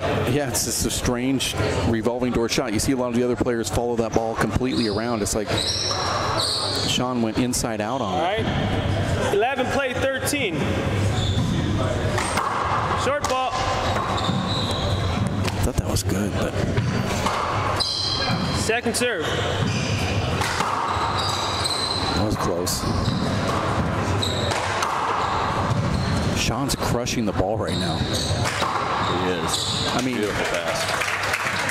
It's like somebody said on the next three shots, I want to see if you can break the ball. Mm-hmm. Right? Didn't it seem like he played, just 13. hit three of the hardest balls he's hit in the tournament? I think he's stepping into it, looking to assert himself here and get back on level footing, which he's done quickly. Yeah, Sean's back. And one of the uh, serves that Sean has that we talked about for Dermot having the changeup. Together at 13. Sean has that ability to almost change from left to right mid swing. Same deception, same arm angle. See if he looks to employ that here. Such a smart shot right there from Nash. And that's a difficult shot too, with your offhand up over the shoulder. Beautiful fly kill. 13 13.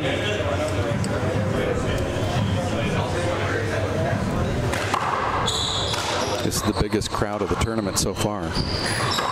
Packed into the show court.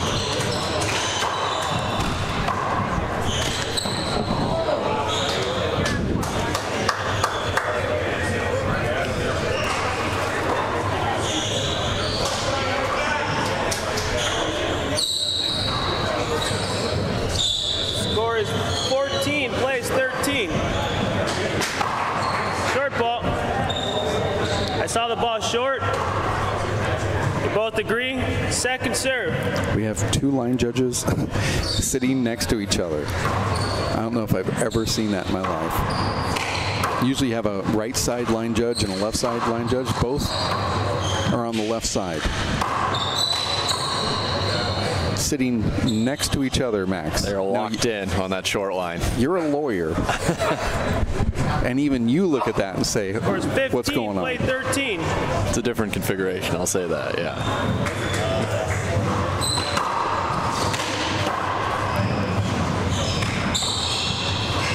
Smart, very smart strategy from Nash. You see Sean playing up front, kind of overplaying, and Nash changes his shot mid-swing. Scores 16, play 13. Short. That's close. You know, the crowd was really into these points from Second Sean. Lenning, but now they're pretty quiet. Mm-hmm. Dermot's doing a pretty good job of keeping Sean in the back court during this run here. He is. He's been very patient as well, you know, waiting for that shot, and then he just drops in those kills using that side wall. Another great shot from Nash. He just pokes that ball down that left wall, and it just slides down it. Got one left.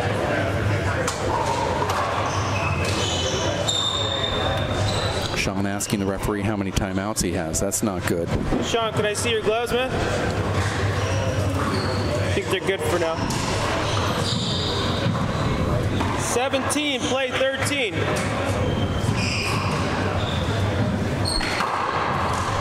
Oh, that's beautiful. That's that sneaky serve. And he does that with a reverse.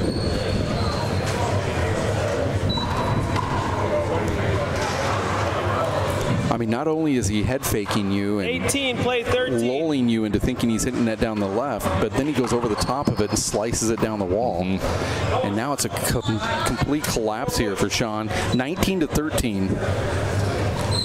Dermot's really imposed his style and, and been the more consistent play player through this game. Sean was once up 11 to 9, once up 6 to 0, now finds himself down game point. Looks like Sean may be pressing a little bit. 20, pr- play 13. Short. Nash was on a 19, excuse me, a 20 to 7 run right now. Second serve. 19 to 7 run. I don't know what it is, but whatever it is, it's pretty darn close to a 20 to 7 run. 13, play 20. Score should be 13 to 20.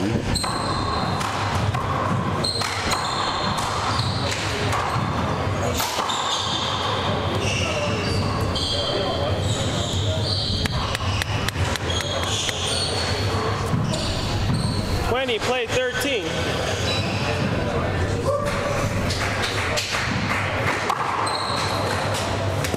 It's game. And there it is. Pyramid Nash taking game number one. And all that training and all that playing that Sean Lenning has had, Dermot goes in there and is really strong. It shows you why he is arguably the best player on the planet at this moment. Dermot Nash gets to 21 first, defeating Sean Lenning.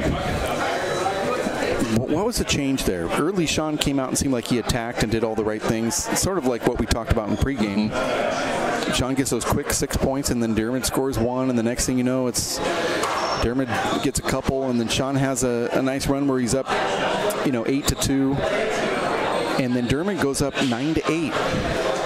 And I, I think to me it was just resilience, pure pure resilience from Dermot. You know, um, Sean came out firing on all cylinders. He was in that clampdown mode, but you know it, it takes a toll on you to play at 110% sometimes. And I think Dermot kind of just got enough on it to where he could sneak a couple points back. Sean made a couple of errors, uh, kind of late after that 6-0 run. We had the injury timeout, and that kind of maybe busted a little bit of momentum. And from there, Dermot was uh, just able to push his way back in, claw and fight, and Um, so I think it'll be up to Sean here to regroup and, and really push hard in the second game. He's got to find that that level again. What's really interesting about Sean is that that injury timeout changed everything. Mm-hmm. Because he was really on a roll at that point, and then it, it happened, and he only scored two points after that. And Dermot scored, you know, 15. Right. Very interesting how momentum changes here. You see Sean sitting courtside with just his, you know, his hands holding up his head, looking into a towel like he's just completely, you know, spent. But we know he's not. Yeah, Sean is a Sean's a fighter. You know, we've seen it time and time again. He'll come back and he knows the strategy within the game. So um, look to see what adjustments he makes here for game two. You're watching the USHA Four-Wall National Handball Championships in Portland, Oregon at the Multnomah Athletic Club. This is the 71st edition of these games.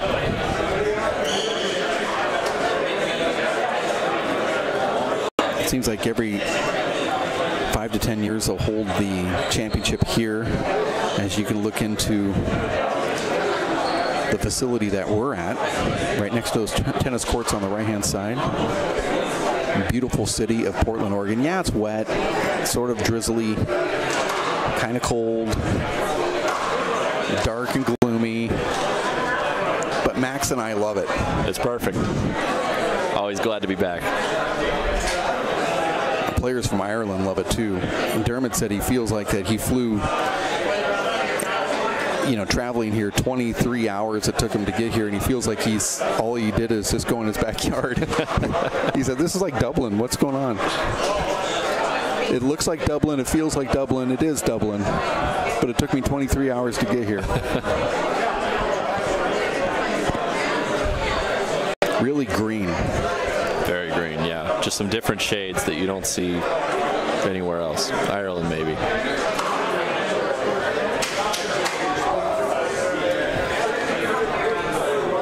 Love this tournament here. It's been traveling up to these tournaments since the uh, 80s for me. I, I, grew up down the street in Klamath Falls, Oregon. We'd come up to tournaments here at this athletic club as a young player. Grew up in this court, in this facility. So for me, it's kind of a homecoming in a lot of ways. You know, being born, you know, born in Oregon, living in Oregon for 30 years, now living in Tucson, Arizona. It's almost like the underneath compared right. to uh, Portland. After coming here, it, it, took me a while to. I go, oh yeah, yeah, you can wear shorts in this weather. a lot of people are all bundled up, not me. But yeah, Arizona's like the underneath. Yeah. Oh yeah. It's just completely different. It's amazing how you can go, you know, south to the other border and just entirely different landscapes and deserts and yeah. Well, Sean's no stranger to these courts as well, even though he lives in Tucson, Arizona, like like I do. But he's from Shoreline, Washington, and has like almost identical type weather patterns here in the Great Pacific Northwest. He's familiar with the surroundings, and he's familiar with the show court it looked like Nash was the one that was a little bit more familiar in game number one after he defeated Sean Lenning 21 to 13. So Sean here in game number two, your formula to defeat him, uh, Dermot would be what? My formula for beating Dermot here is uh, he needs to be aggressive, but I think he needs to be slightly more low risk. Um, we all know Sean can hit some incredible shots, but I think he needs to be willing to, to rally with Dermot here because Dermot's holding that front court, and anytime he gets the touch, you know, anytime Sean's front court kill isn't perfect, Dermot's capitalizing, making some great gets, really pushing Sean, but I think Sean's got to be willing to play both sides of the court and push him back a little bit more.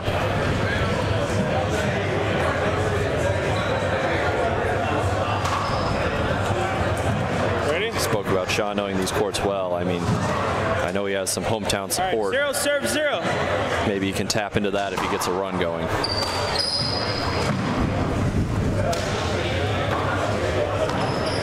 That was an interesting shot from Sean. I haven't seen him do that before. Side out.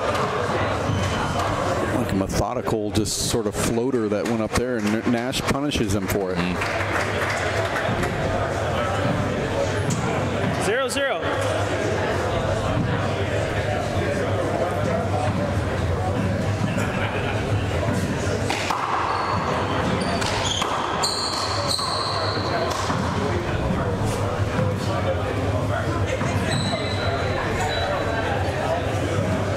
One, zero. Short.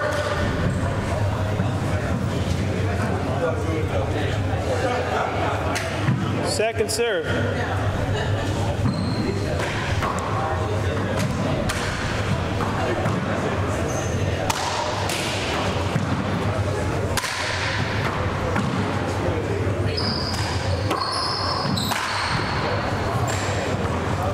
Sean pulls through that ball.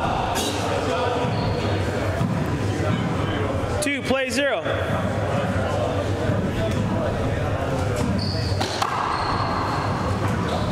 Point. I don't know if you sense it, but Sean's Three, play zero. kind of body language seems to be really down.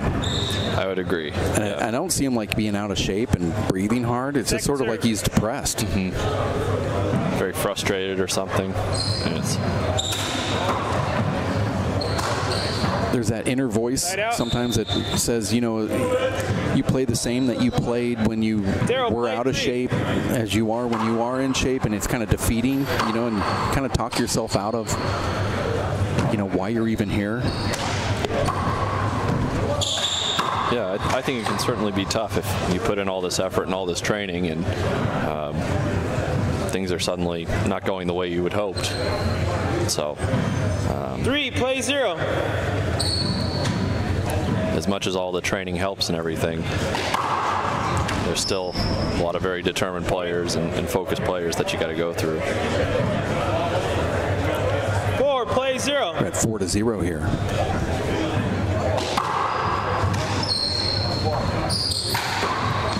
Oh, I like that shot. Nash is gonna. Well, never mind. Sean put that in such a good position.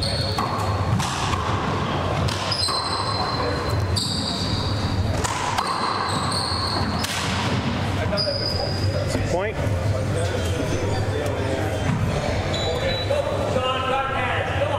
We're at five to zero Five, here. play zero.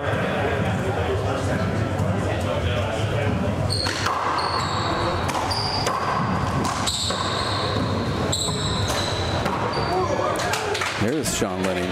I think a couple shots like that from Sean could get him right back into this. I think spiritually, if anything. Zero, play five.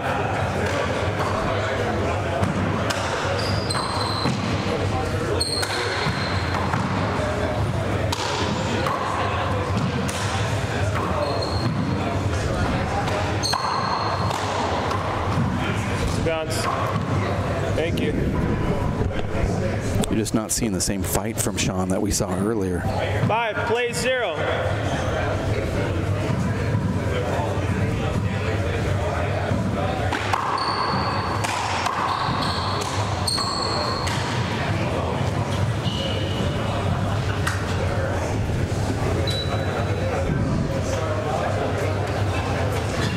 Six, play zero.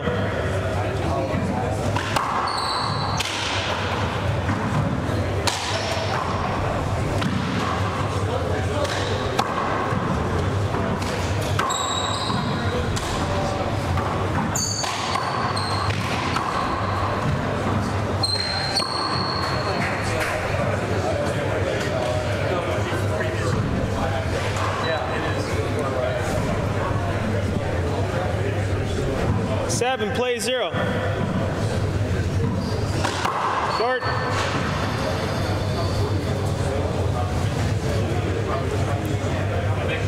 You got one serve.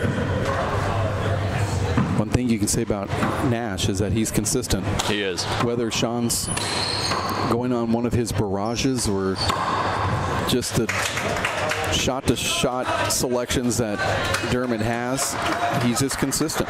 If he gets his hand on it, he does the right thing. Short ball. That's very smart. I mean, especially in a match like this, Second serve. to be able to hold that level and hold such a consistent, high intensity level, it's made a lot of the difference. Seemed like Sean tried to pick it up during that service there, and Nash just finds a way to break him in two every time. Seven, play zero.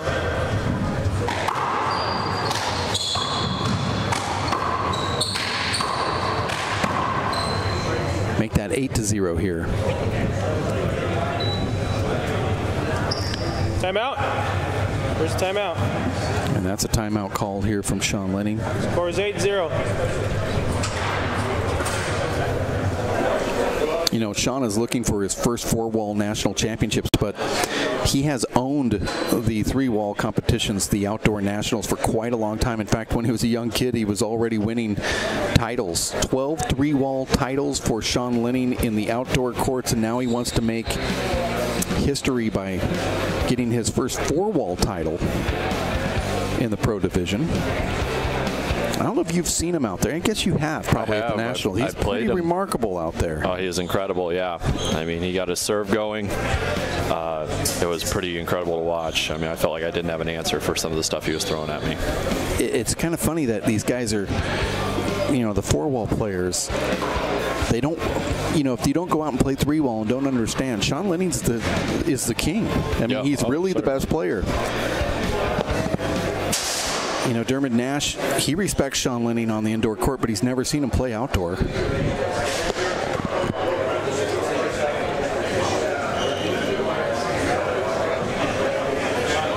And he's an outdoor legend in Toledo. Some say the best that's ever played.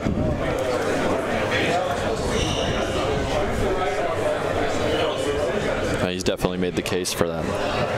And he holds the all-time record. Right, 12, and he's going to, you know. He's still going. A lot of talk says 15 16 for him.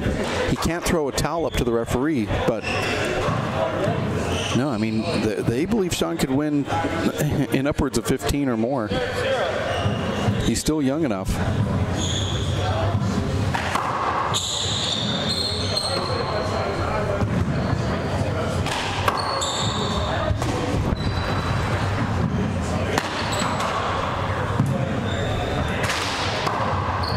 Great energy from Sean. More balanced. Zero, play eight.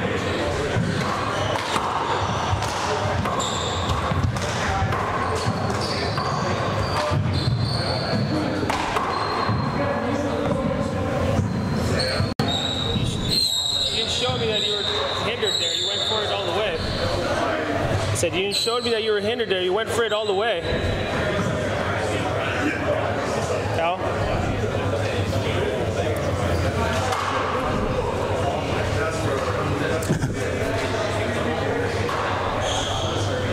Taking this time Keep an eye out for to kind of chirp at the referee a little bit.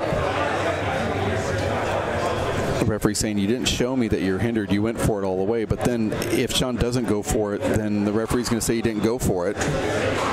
It's kind of a weird thing for a player because you kind of, I guess you have to go for it and just kind of grab it Score is eight, play zero. and kind of stop the play while you're diving for it. I guess is the only way you can really get the hinder off that. Yeah, I, I don't know. Don't know what the, the correct tactic Hold would be it, there. hold it, hold it. No contact there. And that'll probably frustrate Sean a little bit. 8-0. I've seen a lot of refs allow that type of contact just to get played through. It doesn't really affect the players.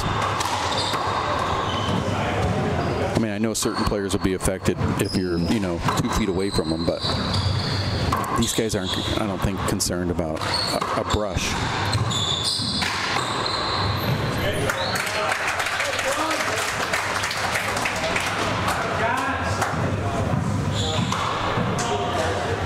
Zero, play eight.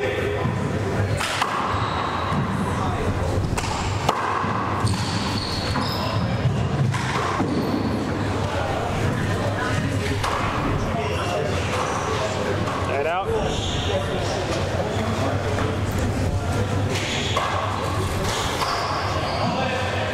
Eight, play zero. Game number two, eight to zero, Nash up. We have two women's semifinal matches coming up after this. Beautiful shot. Look at that. On the run, backpedaling, Nash. About four inches high off the front wall. Nine, play zero.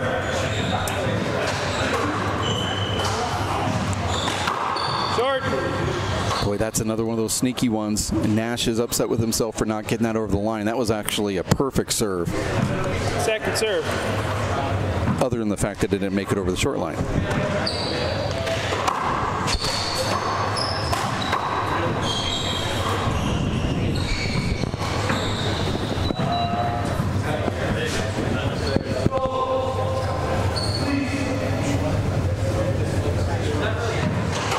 Tournament's level play zero. Completely unchanged here. Midway through the second game. I saw that short. He appeals. One agrees, one disagrees. Short ball. Second serve.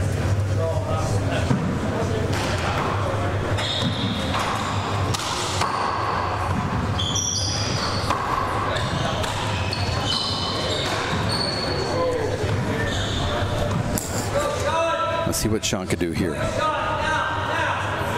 Zero, play 10. See the fans Short. cheering for Sean from the gallery, Second serve. saying, Let's go, Sean. Points now. Now, now. And you can hear it just echoing in here. The fans have kind of let all the air out of the balloon. Sean can score quick, though, Max. He certainly can. Just like in game number one when he scored six points in less than three minutes. One, play 10.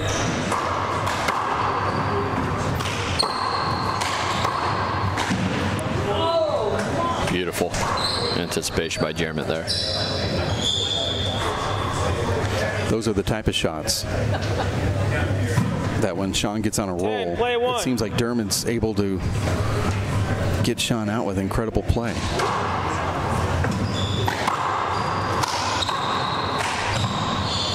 Another inside out underhand scoop from Dermot Nash for the point. Sean just flips that ball back. 11, play one. And for as unorthodox as Sean is from a shot making selection, Jeremy's had really incredible anticipation on every one of Sean's ideas today. Exactly what just happened. I mean, Sean had a really good return of serve that would get 99% of all the handball players out of the box, and Dermot dives in and re-kills it. 12, play one. We're at 12 to 1.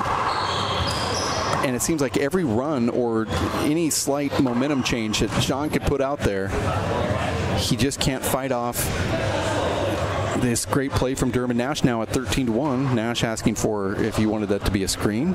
Sean's not going to take it. 13, play one.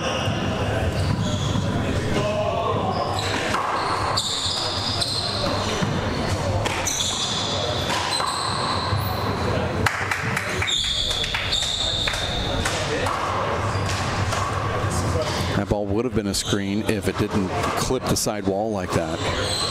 Referee looking right down that wall. From our angle, it looks like it's a hinder. And I know Dermot was unable to see that ball for the majority of the flight, but it clipped that side wall. We're at 1 to 14. Is that the score, or is it 113? Either way, Sean needs a lot of points. Got to give him some more room there, Sean. I don't think the ref needs to say that. I think Sean knew, and that's why he just let him take the shot. He gave him uh, uh, his own avoidable, basically. The ref doesn't need to say anything.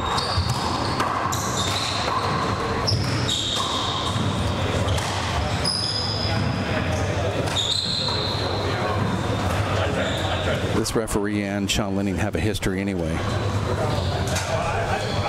That I didn't know. Yeah, it's not a good one. 14, play one. Beautiful serve. Now at 15 to 1 on the writings on the wall. This one was over before it started, and a ta- timeout being called by Dermot Nash.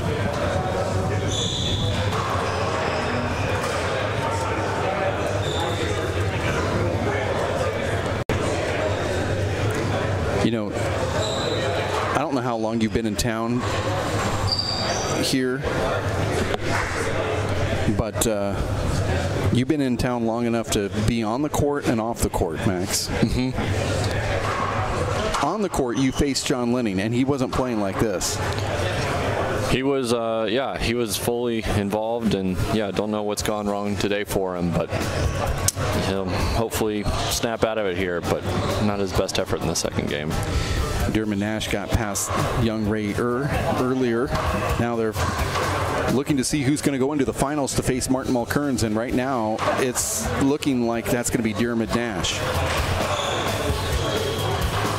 Certainly, Nash has been, I think, the more consistent player here, and and overall, I think stronger just in terms of All right, time in. rallying and, and his serve has, has been the difference. He's put Sean in a lot of really awkward positions point one. that Sean's had to play really high risk from. We're at 15 to 1 here.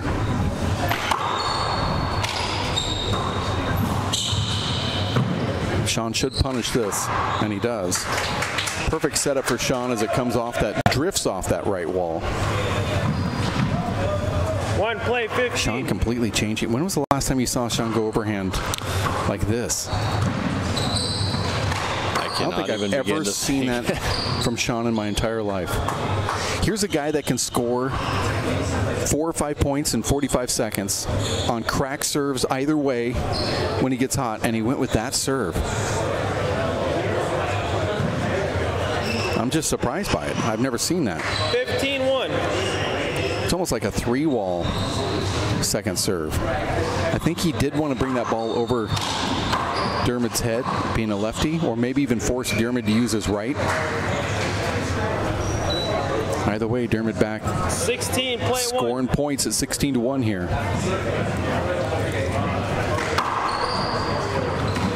See how Dermot's able to flatten out that ball so it doesn't hit the side wall? It's a brilliant serve. It's incredible, yeah. I really like to see- tricky. Play 1. I'd like to see him do it more. I mean, just you don't even need the fake, you know, or sneak it down the right mm-hmm. wall. You can just say, "I'm going down the right wall. Here's where it's going. Try to get it back." Like, how could you get it back if you knew where it was coming? I didn't think that was a screen, Sean. It looked like to me like you were fooled by the sidewall. Did you see a screen That's what there? it looked like too. I'm still. I didn't my call. personally. 18. I know he had to go one. between the legs, but I wasn't sure if he where the screen was.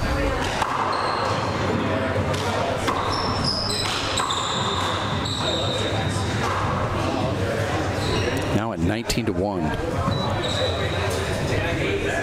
And this is going to be over 19. Play 1.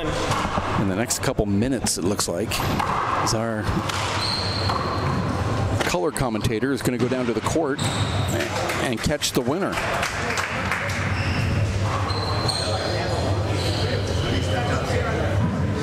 One. Play 19. Point. Two. Play 19.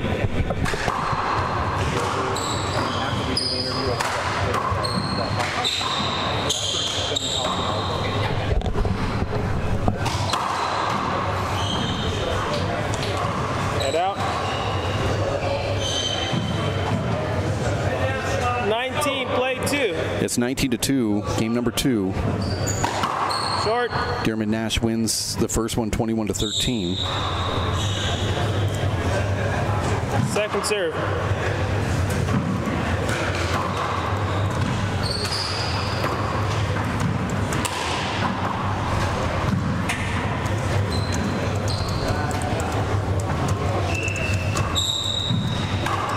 Possible ma- match point serves two.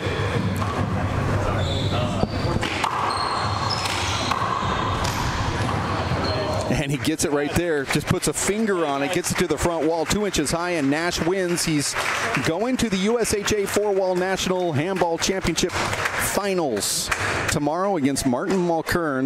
But here he defeats Sean Lenning in two, 21 to 13, 21 to 2. Let's go courtside with Max Lane. Mac, Max. Yeah, I'm here with the winner, Jeremy Nash. Jeremy, great playing today. Started off in the first game with Sean getting on a run, but you held your nerve and battled back to win the first. What was the difference for you? Um, yeah, he, he's so talented. Like, it's in like he kind of started a six-minute run, I think, at the start, and I was just like, get the ball back, get the ball back, try and get into play because he might cool off. You know what I mean? In that kind of just keep the ball alive, keep working hard, um, and just uh, it would come, you know. Um, and I get him out of the middle maybe a bit, and he kind of started to hit a few kind of short serves and stuff, and was the kind of serve went away from him. I kind of thought in the rallies, you know, I had the kind of advantage or whatever. So um, yeah, just delighted to get through, and obviously really tough match now again tomorrow. So certainly. One yet. And going into game two, you kept it rolling. You're going to play Martin Mulkerrin in the final. Um, what do you expect, and what will you be looking to do to impose your style? Um, I'm expecting, expecting the ball to come at me 100 mile an hour.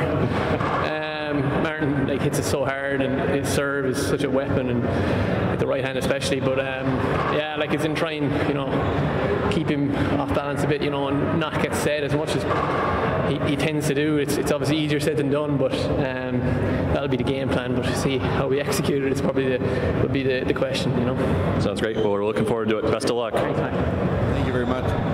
Thank you, Max. You know, you're in the broadcast booth, you're down on the court, you're doing those interviews, you've been on the court playing handball, you've been around and out in the town. I know this isn't about Max, this is about the, the win of Dermot Nash, but Max had a chance to get out and have some fun this week. We're going to have, of course, more of this, but here's Max Lane Mac, our, our guy, our broadcast partner, out on the ice had a chance to get out onto the rink. This is Max Lane Mac, the hockey player. A lot of uh, handball players out there didn't realize that Max is uh, a top-notch hockey stud. Got to go out and see the sights and sounds of Portland, Oregon, but also hit the rails out there too.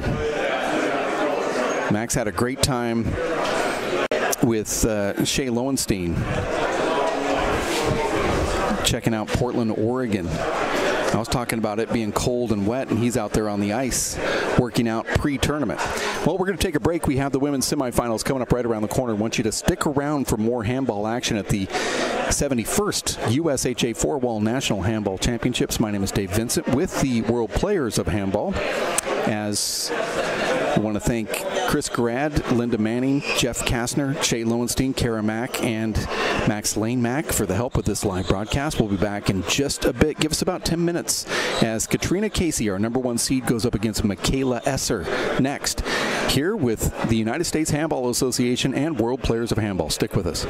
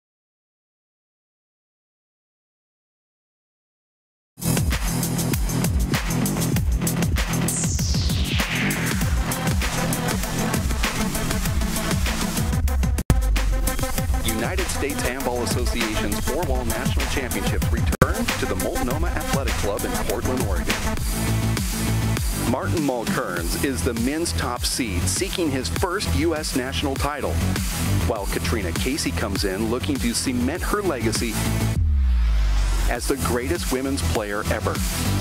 After missing the Nationals last year, she's back and chasing singles title number six.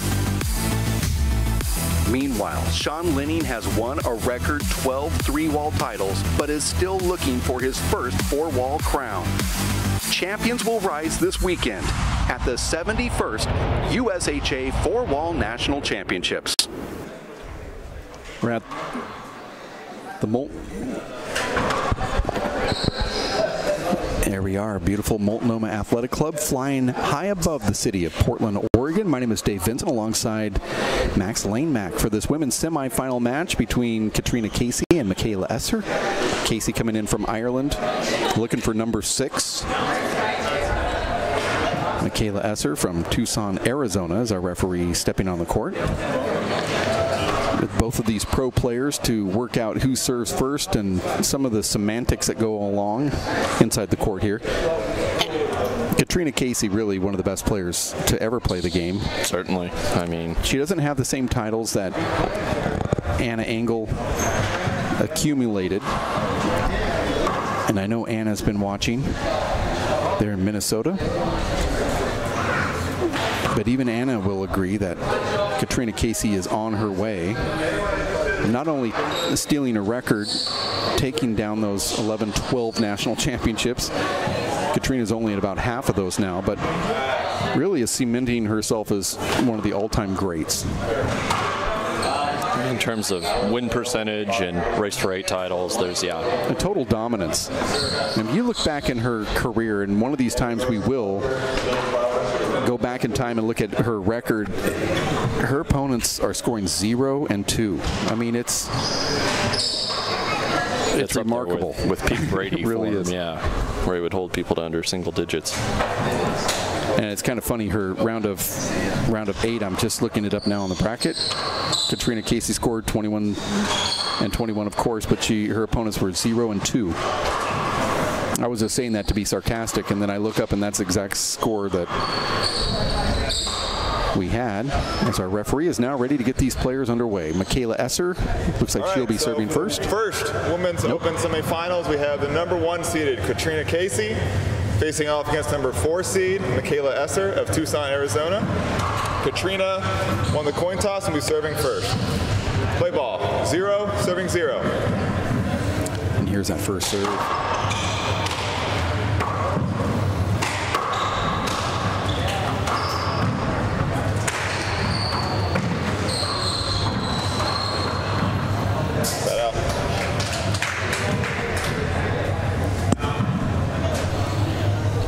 Zero, serving zero.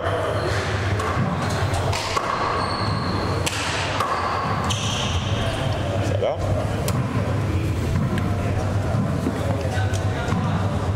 Catriona looks to be using that glass as much. Zero, serving zero. side.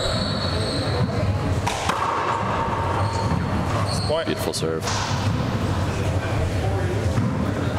One, serving zero. Short. And Max, though you're on the men's pro tour, I'm sure you've been on the court and played against Second Catriona. serve. Um, it's sort of like a thing that everyone says, "Hey, I need to get on the court with her to see." Have you done it? Only once. Uh, I was over in Ireland to play the Irish Collegiates back in 2008, 19, I believe. Uh, Two, serving and zero. She was gracious enough to give us a tour of Dublin and, and uh, Croke Park in the old facility. So I've actually played her in 60 by 30, and I can tell you it was one of the most demanding Three, matches I've ever had. We actually ended in a draw because the lights went out at about 16-16, but uh, I don't know. I was feeling pretty fatigued. It was a lot of fun. Would love to get a rematch. Second Yeah, she's good at 60 by 30 as well. Incredible player, yeah. I've played her multiple times in, in like real serious matches, and she's incredible. Oh, truly. You see a lot of players would come down to the court, and she spent a whole summer in Tucson, Arizona. Four, a lot of players would zero. come down for the novelty factor, saying I wanted to play the best player in the world, Point. and she didn't take it that way. She took it like she was in the Five, World zero. Championship Finals. and she just crushed everybody. She always has a, a competitiveness, it seems, at least in these tournaments. There, I think serves really well. Um, you know, she's always consistent and goes about her work. I think that makes it tough for a lot of other women's players to challenge her tournament by tournament. Six, serving zero. Well, not only is she in good shape, but she spent so much time on the handball court as a young kid that everything comes just so second nature for her. Mm-hmm. And you see her right now just crushing the ball. She can hit the ball as hard as anybody. Seven, serving zero. She's got incredible leverage. Truly. Only weighs about 100 pounds. So where does it all come from? See some great fundamentals. I mean, really steps into the ball well too. That was a nice shot there from Michaela Esser. Zero, serving seven. Short. Michaela's a newcomer to the sport of handball in a lot of ways. She was a top-notch volleyball player. But she has to be such a good athlete in order to make it to the semifinals and to, you know, just even be in the women's open. Seven, serving zero. After probably maybe less than six years of playing. I think so. Yeah, she picked the sport up at Missouri State. Um, she was on the handball team when I was there, and, and Sam Esser was there, who she's now married to. Um, but yeah, before that, didn't know what the sport was. Eight, serving Got zero. involved and, and uh, loved it. And she's really, I think, taken her game to new heights since moving to Tucson. She's learning from a lot of great players down there. Uh, I think she has kind of some mentorship from Vern Roberts, um, and I've just noticed a difference in her game. She's really added more offensive shots um, and a lot more strategy, which has been really cool to see.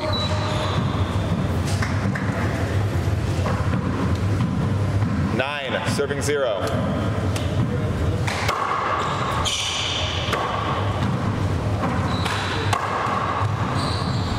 Point. Meanwhile, Catriona just keeps rolling at 10 to 0 here in game number one. 10, serving zero.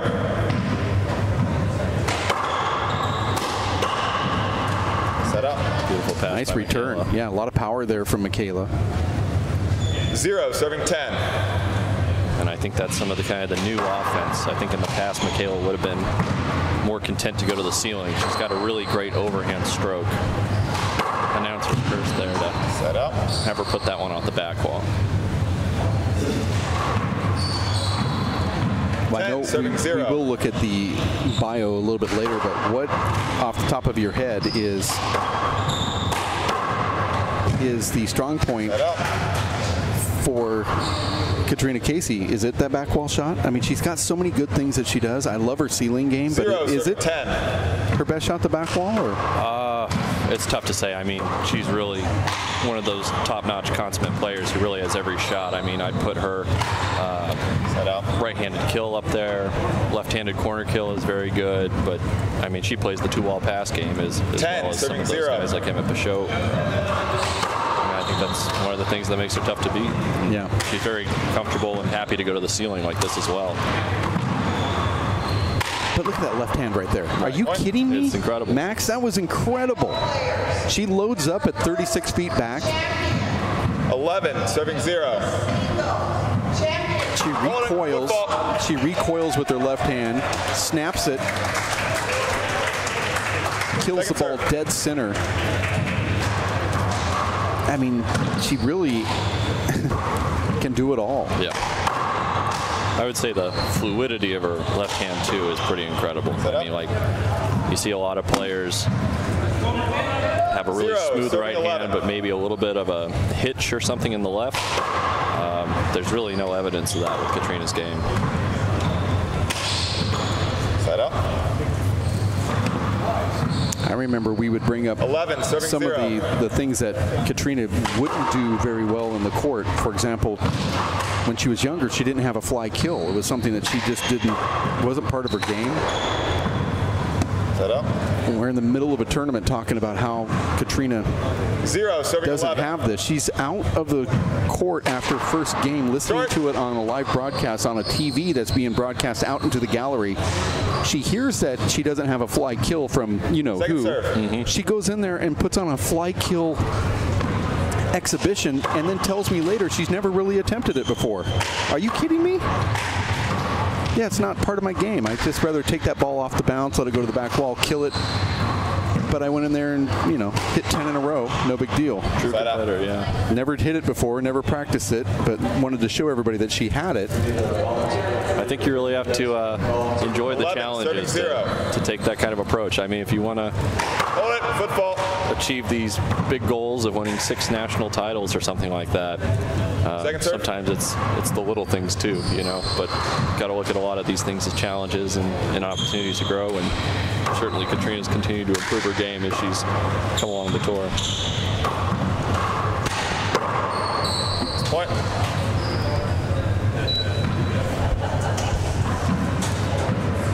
12, serving zero.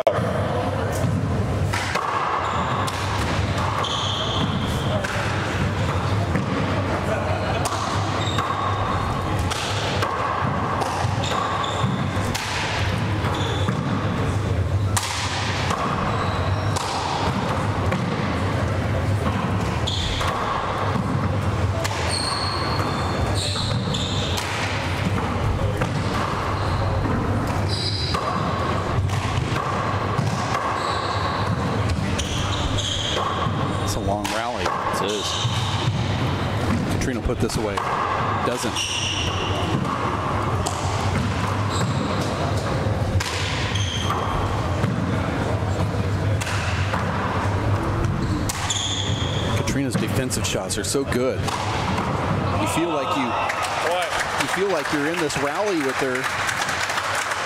You find that you're just totally out of breath after the rally ends, and then she 13, goes into 7-0. another 30-shot rally with you. Every single time she's standing in the server's box when it's over. Point. Look at that kill shot. 14, serving zero. Between games, I'll make sure she's standing near the monitor and say that she needs to work on learning how to hop the serve.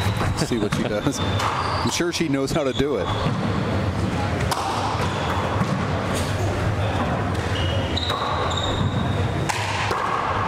Point. It's unreal. It is. I mean, She was only a few points away from Timeout. qualifying on the men's First pro tour. Yeah, one minute. And I was really trying to encourage her to enter the pro bracket in Salt Lake City because I believe that she had a really good chance of actually qualifying there. How did those matches go when she tried to qualify in the men's tour? She did right? well. She scored in the 20s. That was when we'd have one game to 25. Every time that she was in the qualifier final, she made it to where she had 20, at least 20 points. Mm-hmm. So she was five points away from qualifying on the men's pro tour, and it would have been revolutionary. In a lot of ways, it would have made a lot of headlines. And in the times that she was doing it, I, I believe she wasn't as good as she is today. The times that she came close, we're talking about five, six years ago, right before you entered the, the tour. She was close back then. There was a time in New York about four years ago, I believe, that she had her best chance. Michael Galton beat her, actually, in a And final, which, you know, yeah. obviously he's, Great he's player. a good player. There she is, Catriona Casey. 73 wins, two losses on the professional tour. Now, you tell me anybody else in the history of any professional sport that has something like that. I guess in racquetball, maybe Kane might have had a record that was similar. Paul Brady was pretty dominant. Killian Carroll's dominant, but not 72 and 2. Naty Alvarado Sr. had a had a run that was pretty damn impressive as well back when Simple Green ran the Pro Tour. 17, serving zero. You see Naty's picture on the front wall there Short. when we're at that camera angle on the right. Second serve. There he is.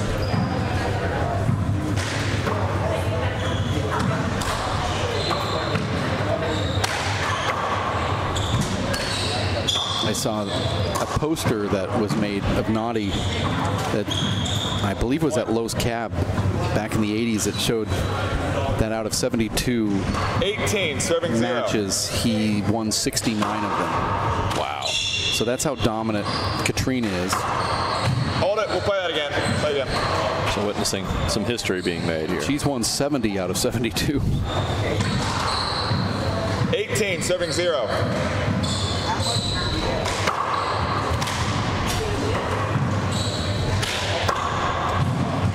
And that's just pro tour. Right. She's you should see all the other stuff that she's n- that's not part of the tour that Mm-hmm. she's winning. 19, serving zero. Oh yeah, certainly heard you know, about her great success over in Ireland.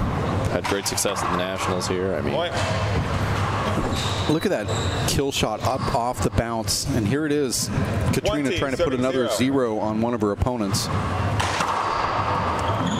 And she got it. Great crack. And just like that, Catriona Casey Five minutes. puts a zero on Michaela Esser. And, you know, we've talked to Catriona multiple times about zeros, and, you know, she just says, if it were the other way around, I would be, it would be more respectful if they went for the zero. You know, I don't want them to hold back. Here's a nice replay clip. I, I I agree with that from what Catriona's saying. She's like, you know, the other way around, I don't want to be patronized. Right. I don't want you to go in there and throw the ball into play to try to get me out, you know. She said, I, did, I feel more that I'd be disrespecting you if I did it the other way. And I mm-hmm. went, you know, I agree with that. 21 to 0 poor Michaela Esser getting zero points off of Catriona Casey in game number one of the women's semifinals. The winner will face either Ashley Moeller or Fiona Tully.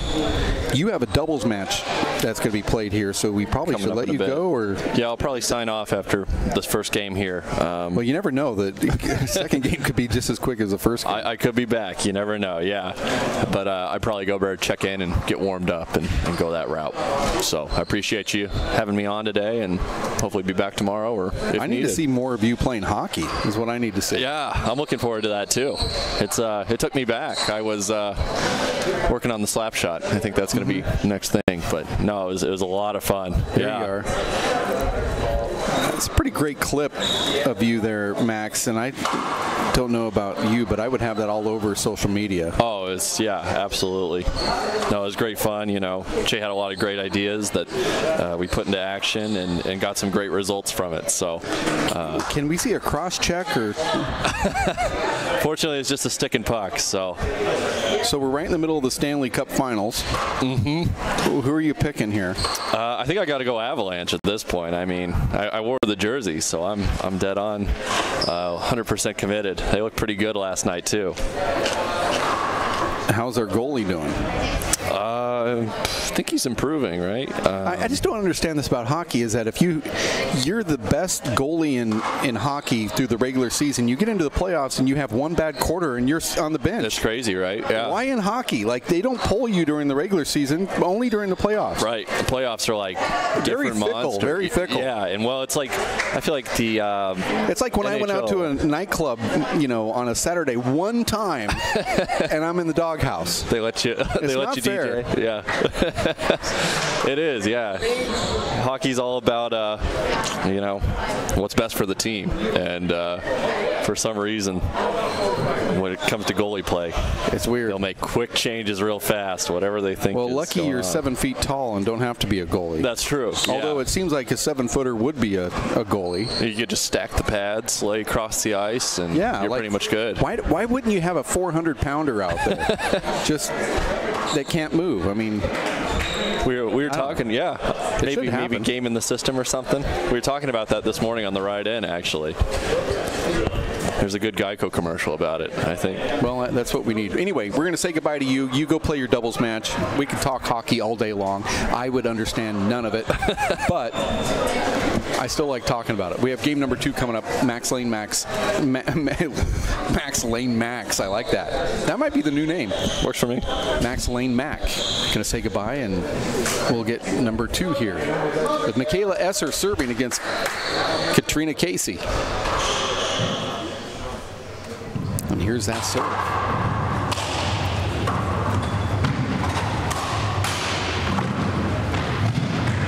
It's point. She is, first point for Michaela. And just like that, One, serving zero.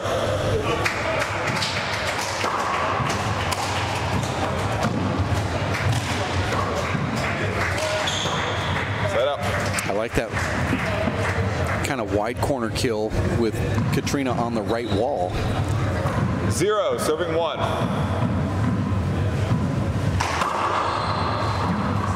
Point. You're in a national championship for the sport of handball. One, serving one. Some of these players have played 60 years or more. There's a pro bracket, and then there's the women's pro bracket. Catriona Casey could only be beaten by about Two, serving one. maybe, and this is arguably 20 people in this whole facility. That's how good she is. Doesn't matter what gender. There's about 20 people here that would beat her, and that's Three, serving one. probably stretching it by 10. She's that good. And that's why I say enter the men's pro bracket. They play with the exact same ball. And the reason why she's so good is that she is so consistent and she has a game plan. She goes in there, she hits the ceiling shot, she drops it on the back wall. You're going to have to make an one. incredible shot to get it off that back wall. And if you miss, she punishes you Set up.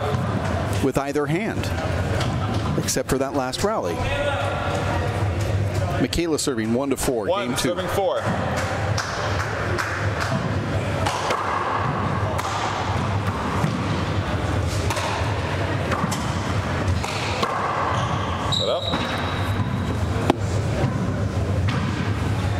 Coming up after this one is going to be Four, serving one. Fiona Tully up against Ashley Moeller. Said it earlier, but in the men's semifinals, it was Ireland versus Tucson, Arizona. In both men's upper and lower brackets, and that was a, a screen, no call. And in the women's semifinals, exact same thing. Ireland versus Tucson in the upper bracket, and Ireland versus Tucson in the lower bracket. Five, serving one.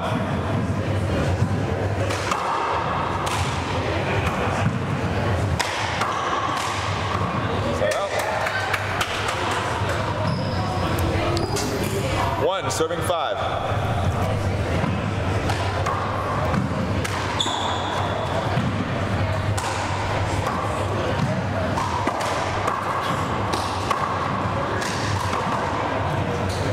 Set out. Five, serving one. Hold it, football.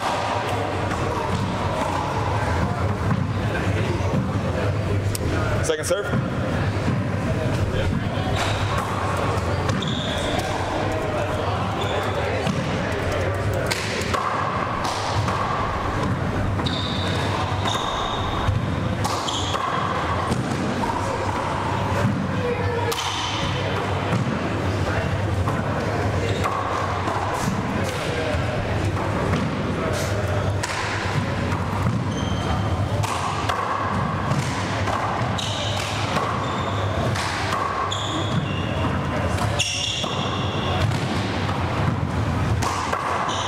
Hold it, hold it, play again. Oh, that was tough.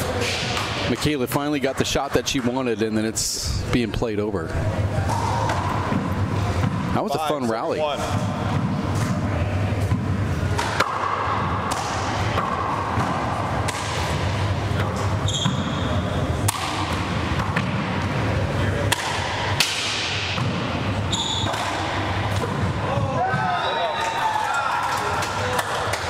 Surprised the referee didn't call a bad bounce on that ceiling shot because it clearly slowed the ball down. One, serving five. That ball was supposed to go all the way to the back wall and ended up checking at the dotted line. Referee at the end of the rally was looking up at the roof. Second serve.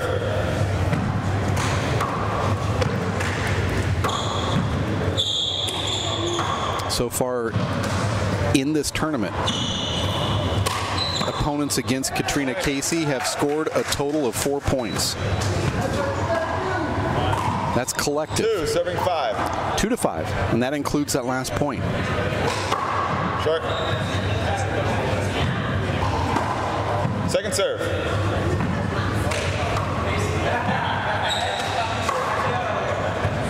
Let out. It's a beautiful pass shot there from Catriona. Five, serving two. Point.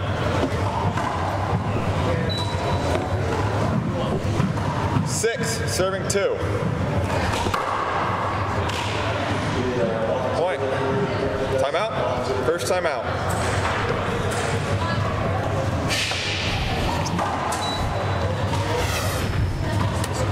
Michaela Esser here during the timeout, being highlighted. Five foot ten.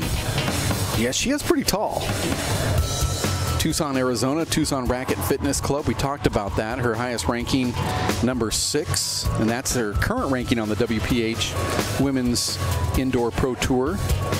Her left corner ceiling is her best shot.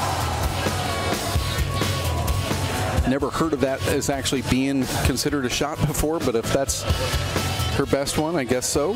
Agility, power, consistency. Favorite athlete is Kerri Walsh, U.S. Olympic volleyball team. She had a pretty big win, 2021 USHA three-wall doubles national championship with Ashley Moeller, who we will see in the next match. That's Michaela Esser. Her husband is Sam Esser, who's also ranked in the top five. Seven, serving two. On the men's pro tour. They're the power couple.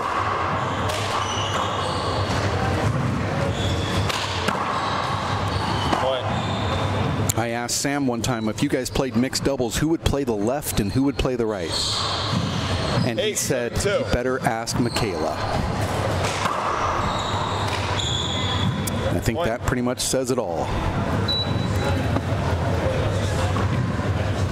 Nine, serving two.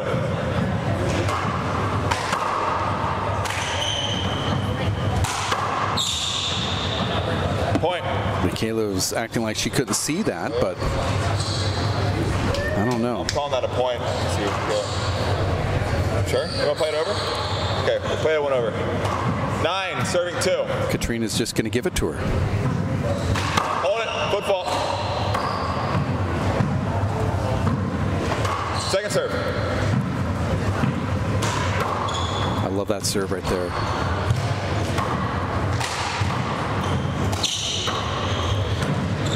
Catriona electing to take that with her left hand. She dribbles it down that left wall. Another big setup with the left.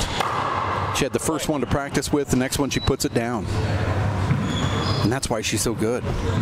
You see how she recoils her little wrist and snaps that ball with her left. It's like a timing mechanism. Perfect shot back there.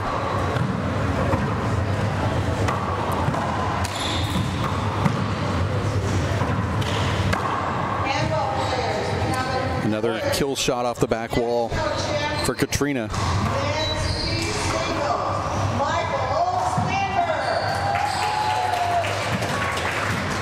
Eleven, serving two.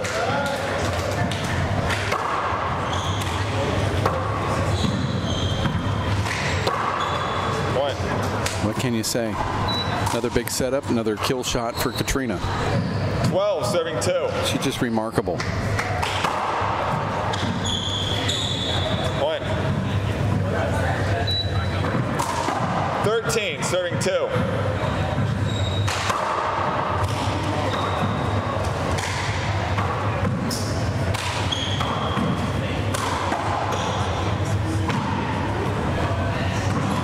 Point.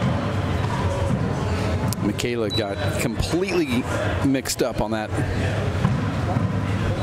back wall shot. 14, serving two. This is a really bright court, and it's bright on the outside. And we bring it up a lot. Uh, these courts that have two side glass and a, and a back glass, you'd say that it's, you know, it's like a dark 15, black hole back here in the corner. But here it's really bright, and it poses other problems. See all the colors out in the audience, and it's hard. You just lose the ball here.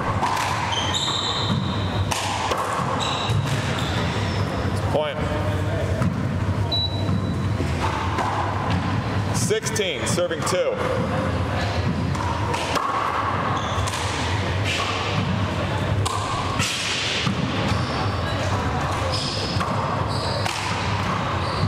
Point.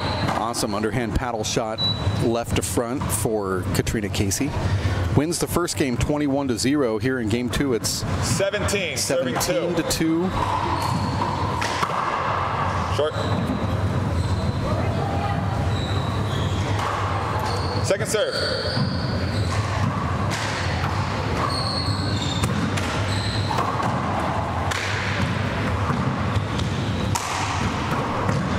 Michaela's got a lot of power.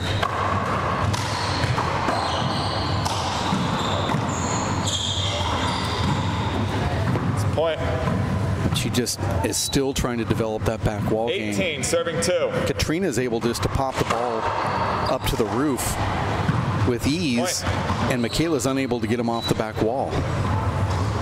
Doesn't have the same footwork that 19, Catriona does two.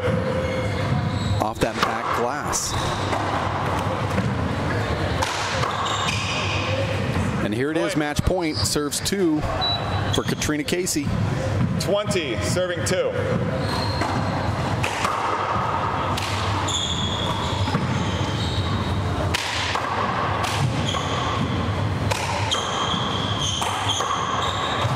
Side out. Side out.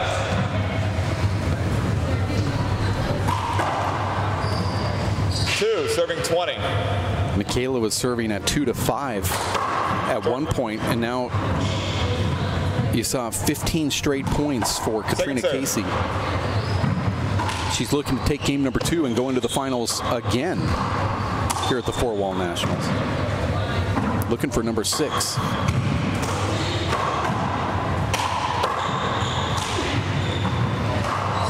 Michaela just missed getting her third point. Now 20 to two.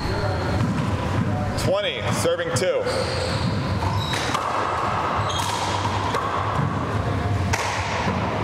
Oh, and she just out. misses that one. Two, serving 20.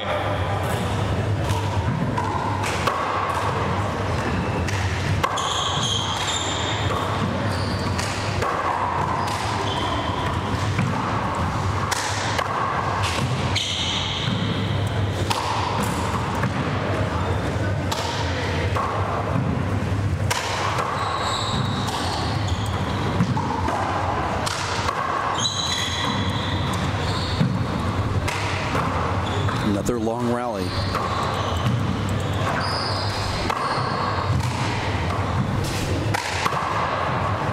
Side out.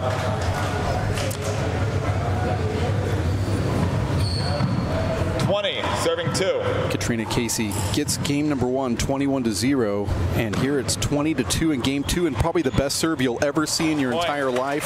That lob just trickled down that left wall, hit the back wall, and stayed on the left. Swing and miss from Michaela Esser, and Catriona Casey wins game number two. That was probably the most incredible serve I've ever seen. Look at this ball go down the wall, one inch from the wall, and stayed less than one inch. And she gets the win, and she will be in the finals looking for number six. Catriona Casey wins here at the USHA Four Wall National Handball Championships in Portland, Oregon at the Multnomah Athletic Club, where Fiona Tully and Ashley Moeller will be warming up to get ready for their bottom bracket semifinal. Who will face Catriona Casey in the finals? We'll find out coming up in about 10 minutes. Stick around for more action with the United States Handball Association, courtesy of the World Players of Handball, here on YouTube Live. Stick around, more coming up.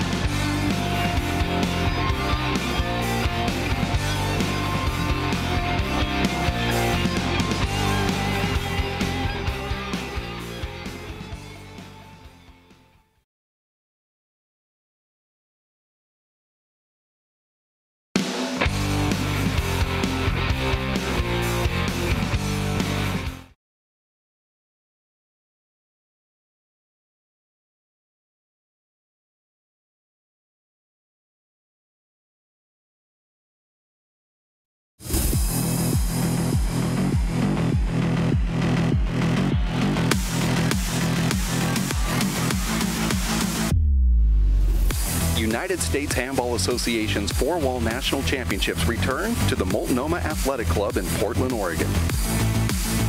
Martin Mulkerrin is the men's top seed, seeking his first U.S. national title, while Catriona Casey comes in looking to cement her legacy as the greatest women's player ever. After missing the Nationals last year, she's back and chasing singles title number six. Meanwhile, Sean Lenning has won a record 12 three-wall titles, but is still looking for his first four-wall crown. Champions will rise this weekend at the 71st USHA Four-Wall National Championships. here at the beautiful Multnomah Athletic Club in Portland, Oregon for the bottom bracket of the women's semifinals where Fiona Tully slaps hands with Ashley Moeller here. Ashley gets that first serve. My name is Dave Vincent with the United States Handball Association's Four Wall Nationals, courtesy of the World Players of Handball. I want to thank Chris Garad, Jeff Kastner, both directing and engineering this event for the United States Handball Association. Linda Manning manning the camera. Shay Lowenstein doing some of the behind the uh, scenes work, camera operator. Ashley Moeller, the number three seed, Kara from Mack. Tucson, Arizona, and Fiona Tully from number two seed from Roscommon, Ireland. Ready to play, ladies? Zero serve zero. The referee made the announcement. Kara Mack not here at the moment. She's our sideline reporter. She has a talk show on TV. She had to go run back to the station and do her show. Interviewing some top-notch Hollywood stars today. One serve zero. Just like that, Ashley scores the first point. Ashley Moeller from Tucson, Arizona. Side out. Fiona Tully from Roscommon, Zero Ireland. serves one.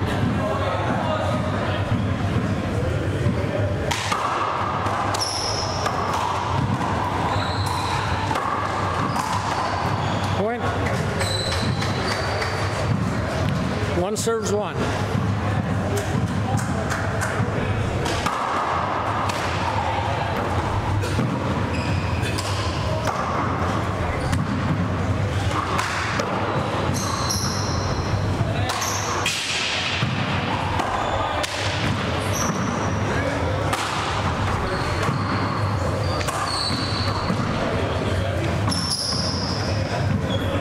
Point.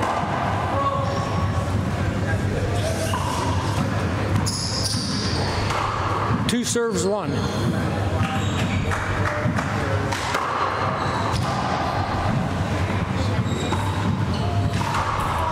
Point. Three serves one.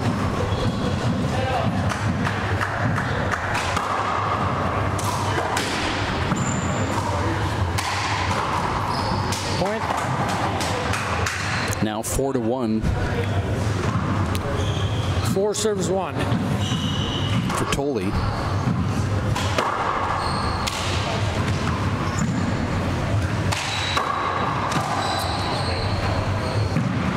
Fiona Tully, our current USHA Collegiate National Champion.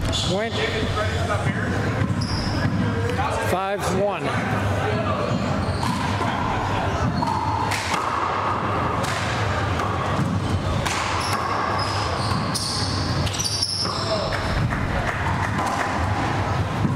Side out.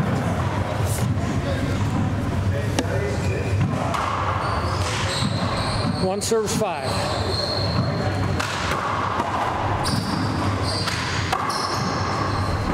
Side out. Five serves one.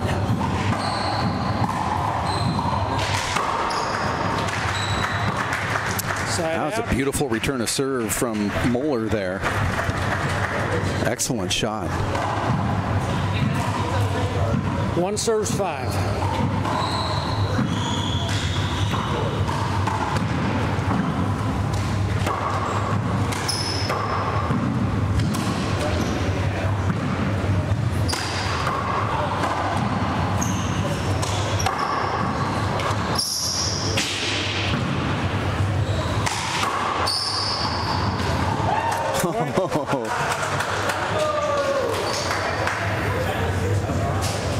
That was a cool shot right there from Ashley Moeller. Just stuck her hand out and just feathered into the left corner. 2-5. Score is 2 to five. Game number one. Winner faces Catriona Point. Casey, and that's a beautiful serve right there. Fiona's going to have to Three come five. in and cut that off if she's going to let it go back in that corner. But Ashley has to replicate it. Unable to do so.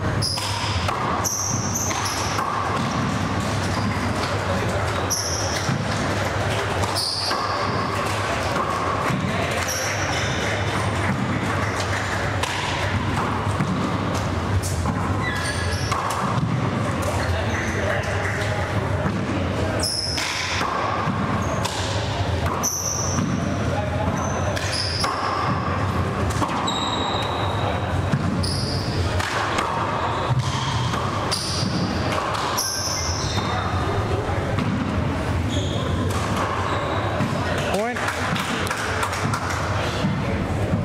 Four to five. You saw the face. I don't know if you were able to see it on TV, but four serves five. You can see that Fiona was grimacing before that ball even got to her. She knew it was going to be very tough to try to pick that ball off the glass side wall. Side out. Almost psyched herself out before it even got to her. 5 4. Five to four is the score here. Point. What was that called? Excuse me? Yeah.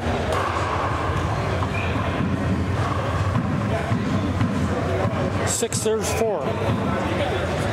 Ashley doesn't like it. She thought that the ball was a bad bounce off the front wall. And now she loses another point. That's two straight points here because of a bad communication between Ashley Moeller and the referee.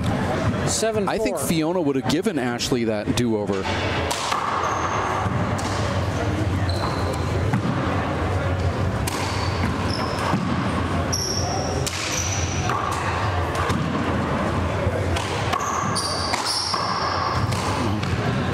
Side Tons out. of power there from Ashley.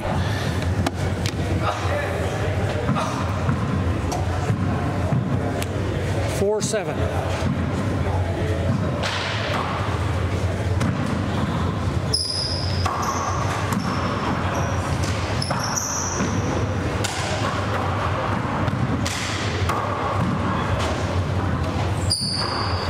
Point. Now five to seven. Five seven.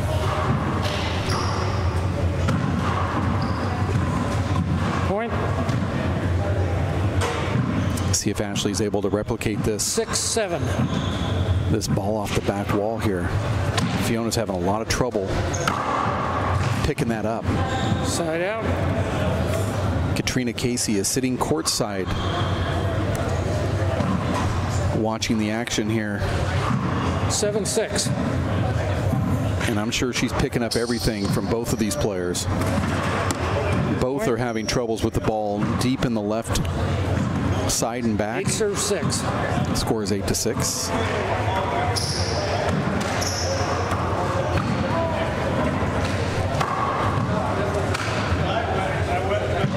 Side out. Point. Score now nine to six. And you see both of these players are serving the ball deep into that left corner, which is smart because it's so hard to see back there side out. There was a strange ball kind of that checked up on that right side wall there. You didn't see it at home, I don't think, but it hit one of the logos and sort of skidded.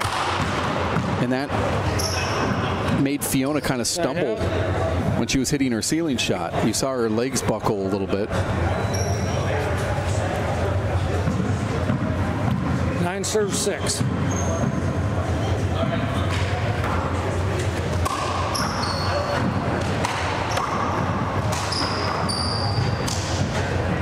Shot from Ashley.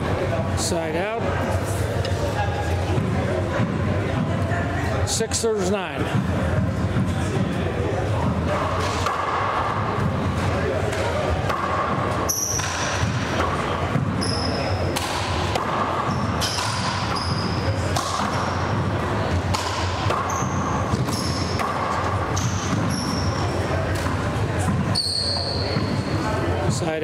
That's a ball that comes all the way out to the foot fault line, or I should say the short Nine line. serve six. And Ashley's unable to get it even to the front wall because of the side glass. Point. Now 10 to 6.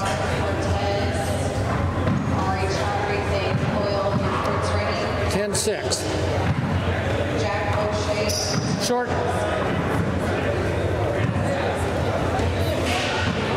Second serve.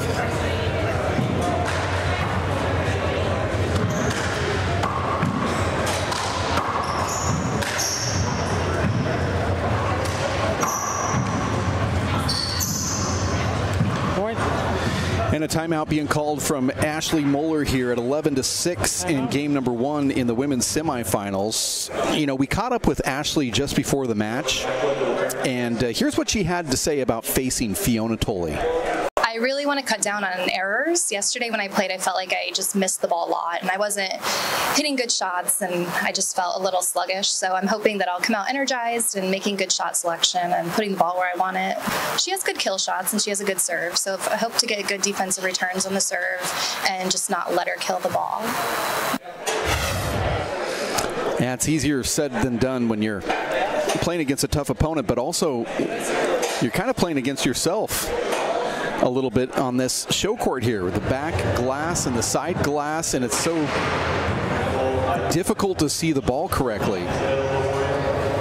You end up playing against yourself in a lot of ways.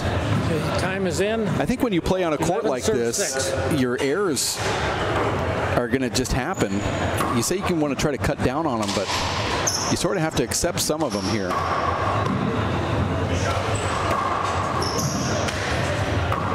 We're seeing Fiona having troubles as well with balls off the back wall on that left side. So it's not just one one player that's struggling. It's everybody struggles. Although you have to say that Catriona Casey didn't have any problems 11-6. taking the ball off the back wall with her left on that deep left side.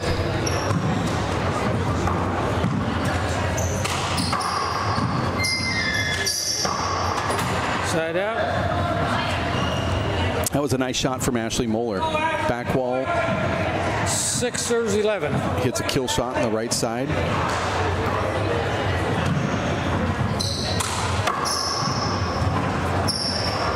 Side out.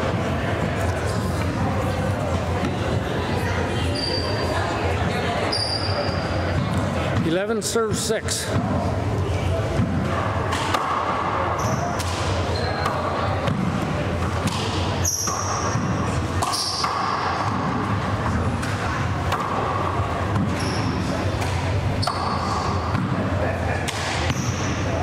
Side out.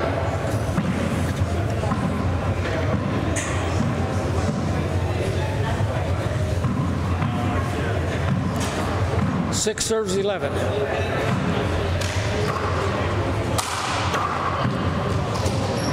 Side out.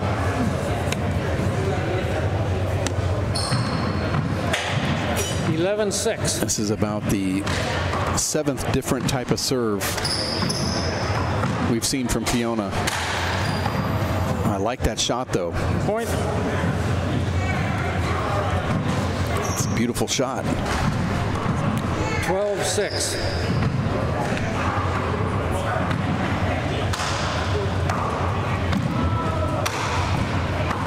This can be tough. Ashley Miss hits it. Point. A lot of the players get onto this court and they're just so intimidated by that left side wall that they 13 are six. immediately taken out of their game. See, Ashley could have easily have gotten that ball back. And there's another one coming off the side wall. This time she just catches it. 14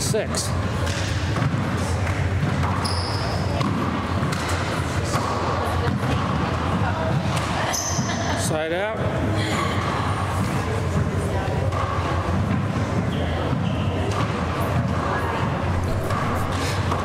Six fourteen. The score is six to fourteen. In game number two, uh, game number one, excuse me. Point. And there's the seventh point for Ashley Moore. 7 14.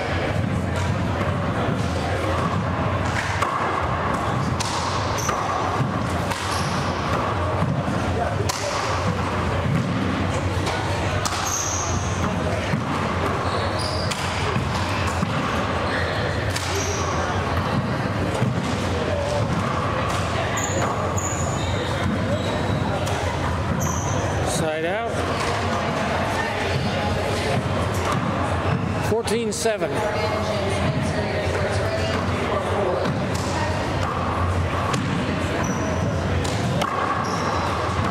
Oh, and that ball hits Fiona, even though Ashley was letting her take it. And that's a side out just off of that alone. 7-14. Both of the players had a little smile and giggle at themselves a little bit. They both have such great personalities. I can see Ashley saying, that's the only way I'm going to get into the server's box. or something 8-14. sarcastic about herself that got Fiona to laugh.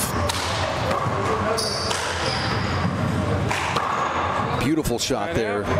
Fiona able to step in and then puts it down 14 to 8. 14-8. Here in game one, no foot fault called, although Fiona was over by about four inches. This is going to be tough.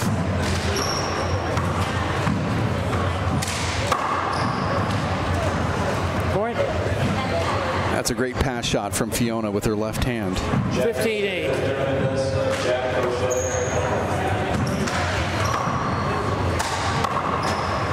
Point.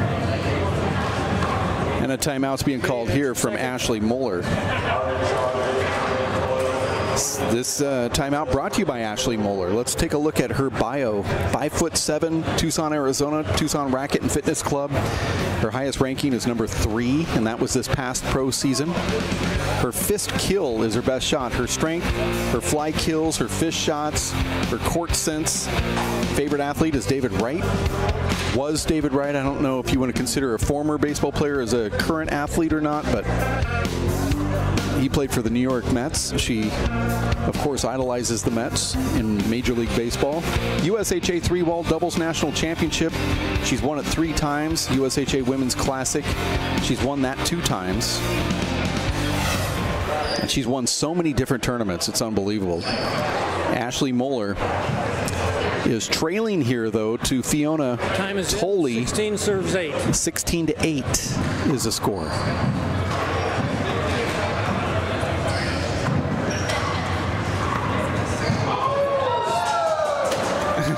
Little smile there from Moeller. And both players just kind of giggle at each other as they walk by. That was a sloppy side out for Moeller, but she's going to take it.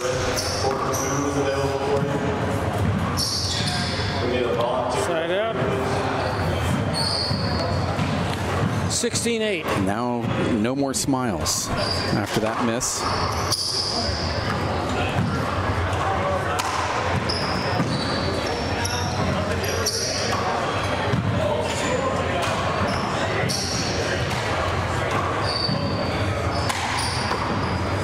Beautiful shot. Off balance, fade away, right to front, kill from Tully.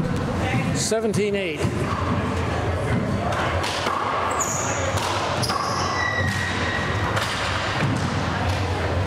Point.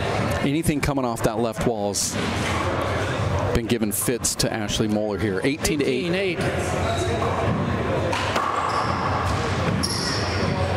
Point. 19-8.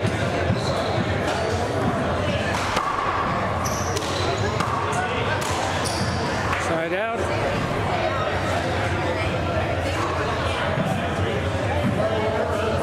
Eight serves 19.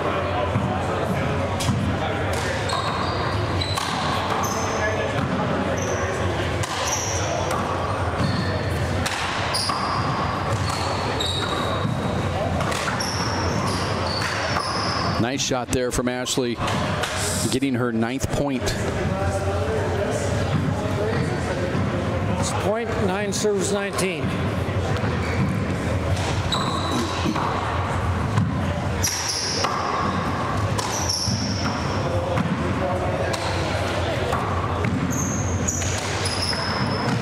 Point. Ashley Moeller, double digits. 10 serves 19.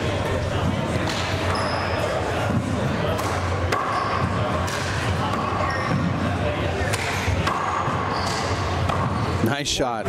Moeller fadeaway underhand paddle shot for her 11th. 11, 11 serves 19.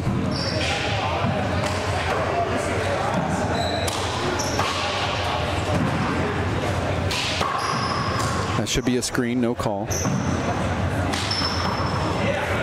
And a nice wide corner kill from Moeller. No timeout called here from Fiona. 12 Four straight points and a side out from Ashley Moeller, and that ball just Side out. comes down off the ceiling onto the sidewall and checks straight across the court. Nothing Ashley can do there. She would have had to have read that 19 12. after it left the hand of Fiona.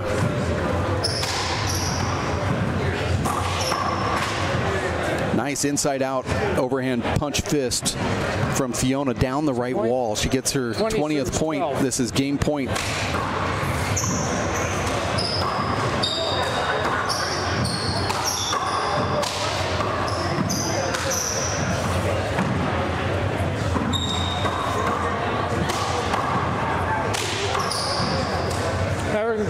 Play a screen on that, sorry. Screen. Referee's playing that over.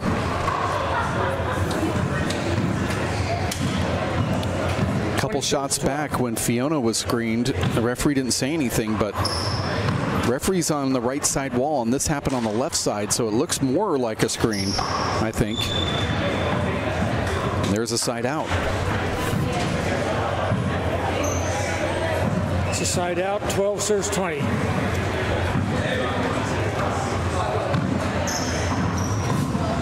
Point. 13 to 20.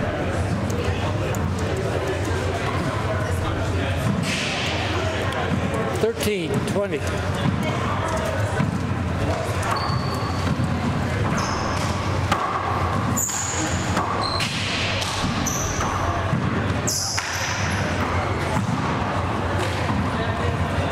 Point. And another point for Ashley. I think she's learning something here about that deep court. She uses the sidewall to her 14, advantage. She gets 20. points.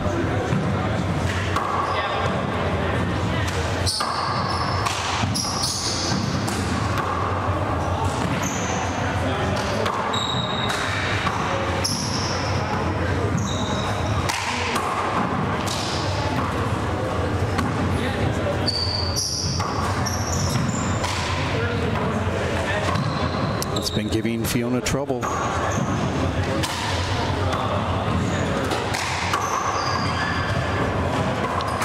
Side out. Tully now serving to take game number one. 20 serves 14.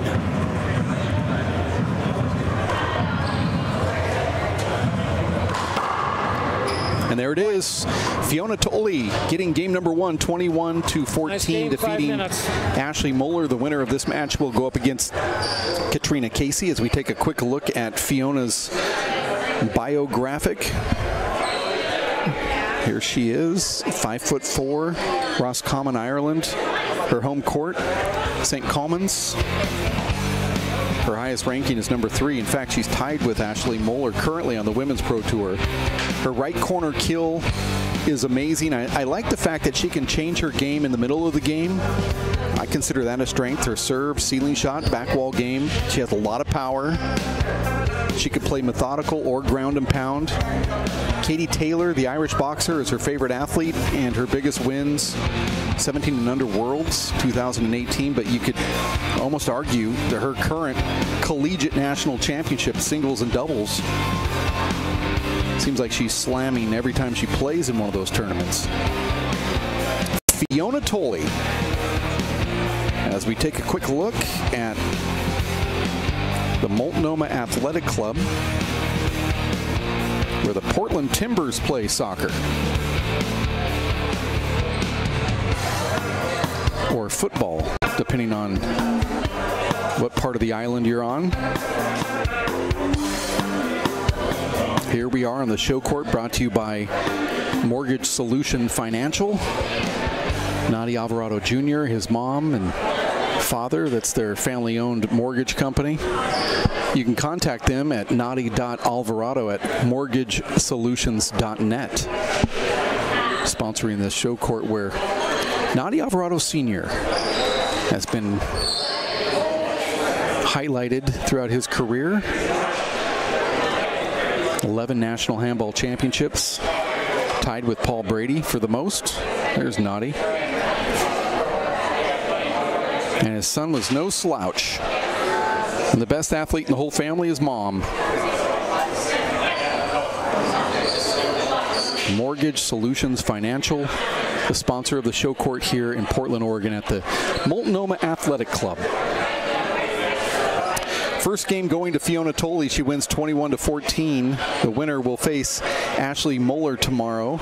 Excuse me, the winner will face Catriona Casey tomorrow in the women's final. Of course, that winner will face Ashley Moeller in game number two. That winner being Fiona Tully, as she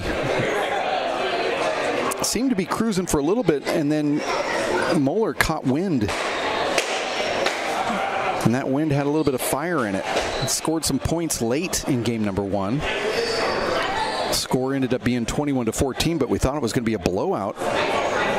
Fiona started rolling some points and was leaving Ashley at about seven or eight points, and then Ashley scored six late points there to get up to 14. So we'll see if Ashley can keep some of that momentum that she had there at end uh, of game number one for game number two. You're watching the USHA Four Wall National Handball Championships in Portland, Oregon. This is the 71st USHA National Championships. Earlier today, we saw Catriona Casey get past Michaela Esser. The score there was 21 to 0, 21 to 2. And uh, Martin Mulkerrin got past Shorty Ruiz in his upper bracket of the men's semifinals. And then the lower bracket went to Dermot Nash as he defeated Sean Lenning in two fairly easy games.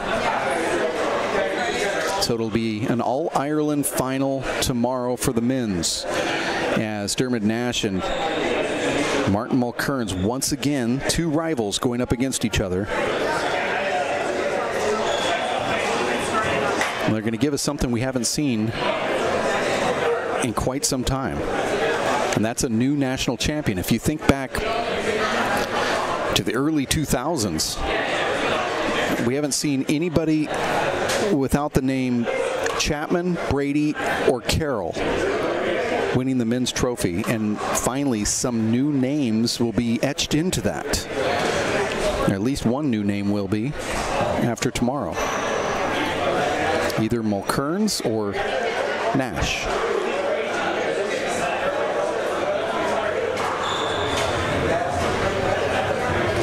About ready to start game number two. Referee with the announcement. Okay, time is in. Fiona serve, zero serve zero.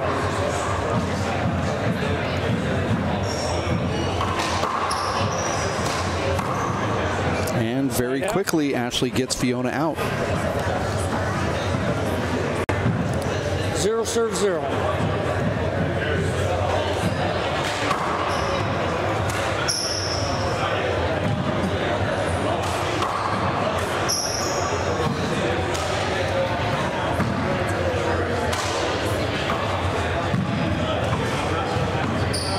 Side out.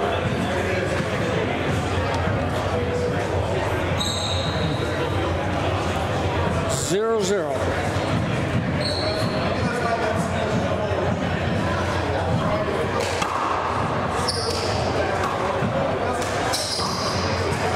Point.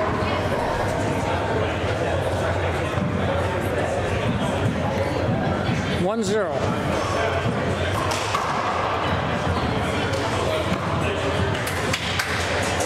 Side out. Zero one.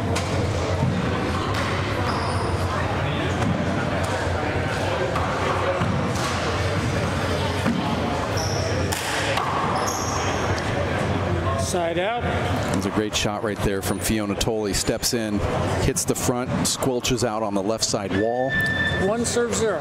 Score now one to zero. That has to hurt. That ball being played over. One serve zero.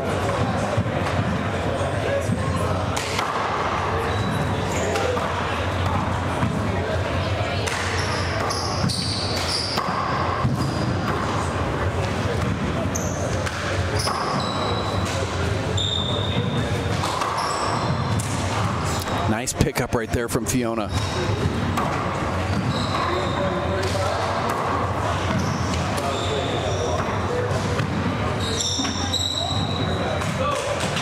Once again, Fiona having troubles with that ball on that deep Zero serves one. left corner.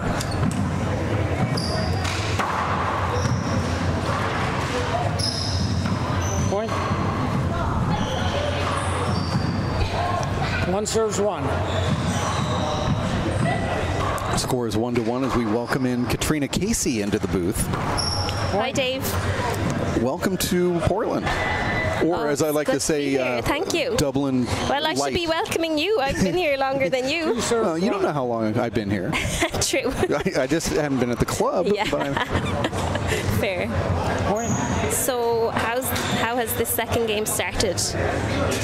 it's kind of like the way that game number one was ending when Ashley had that momentum. You saw Three her kind of pick up a couple things deep in that left court there, and I'm sure that you probably saw that. Yeah, definitely. She put together a kind of a string of points Mm-hmm. towards the end of that second game, didn't she? Which is always Four good, you know, one. to have a bit of momentum and just to find something that works. Well, she's kind of finding it now, and I'm. You see, she's up four to one.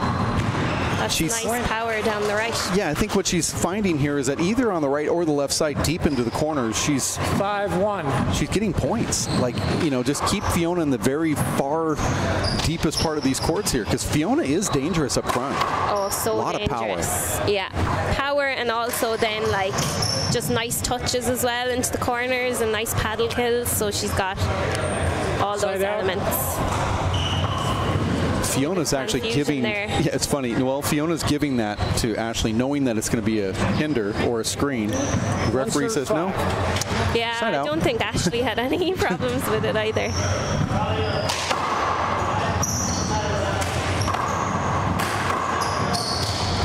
That might make it. Point.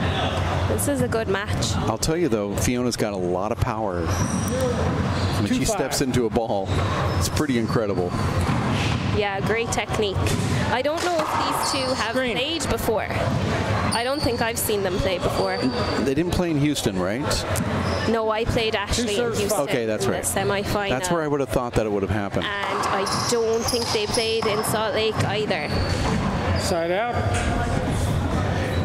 So that's cool to see. It's nice to Yeah. see new matchups. New matchups are good. I'm sure both of the players appreciate that. But uh, what I did notice is that they were both kind of like uh, very cordial with each other, kind of having a good time in there, which is also nice to see. Second. It doesn't have to be a national championship to see it, but you know, I thought both of them were pretty competitive to a point where they probably wouldn't speak to each other, but they're both giggling back and forth. You see it again on that. Five two. So they have some type of camaraderie in there. I think they're both struggling with that ball right there deep on the side walls, and I think that Yeah, kind of it's gives them something in common to chat about. Six two. they both hit each other multiple times. I multiple can join times. in in that conversation. You know what makes it so difficult because you know in Salt Lake City it's a black hole, you know, and but here it's so light. it's like so much brightness. What? Why is it so tough here? yeah, I'm not sure. I think Salt Lake might be more difficult, actually. Seven two. Um, Um, I don't know. There's a lot of activity going around, like Right. on around here, like because you've got the the three back courts really close as well. So like people are coming and going and obviously Mm-hmm. spectating, and it's just a lot going on, like a lot of movement. Right. It's normally, I suppose, you just have people sitting in the gallery and that's it. Yeah. Um, but I think I think you mentioned it earlier. It's kind of more so when it's coming off the back wall and then tight to the side wall. Yeah, yeah. That's when you can kind of lose it. And I think it's a little bit of like hesitancy not to smash your hand off it as well. That's It's right. hard to have the awareness like how close you are to it. I, it's almost like this is the one court where you have to play here a lot Hey, to resuming try to put your body at ease a little bit, serves to let your instincts take over and say, I know where that left wall is. Yeah. But it's like when you lose the left wall, you are very tentative. You don't even, it's almost like you're giving up the, the play. Yeah, you're just kind of hoping for the best. You're kind of guessing, and you don't want to hurt yourself, but Ooh, Side out. that was close. Moeller was up seven to two, and she could have been up eight seven. to two. Yeah, this is a really good start for Ashley. Second serve. Well, it's you know talking about what Ashley has done. It's like she went from ground and pound to I'm going to be a little bit more methodical with my approach, hitting the ball in the deeper courts. Like that's the shot right there that seems to be giving players troubles. Yeah, she's a smart player for sure. Side out. And she like hits quite unpredictable shots as well. So you really have to stay on your toes. Those punch fist shots. Seven Expect the serves two. unexpected. Seven to two, Moeller.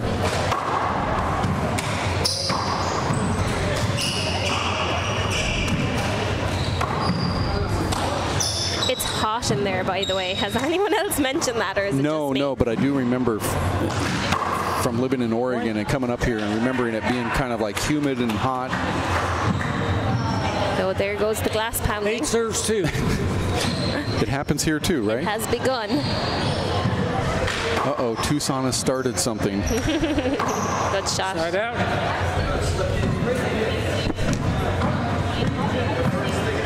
Two serves eight.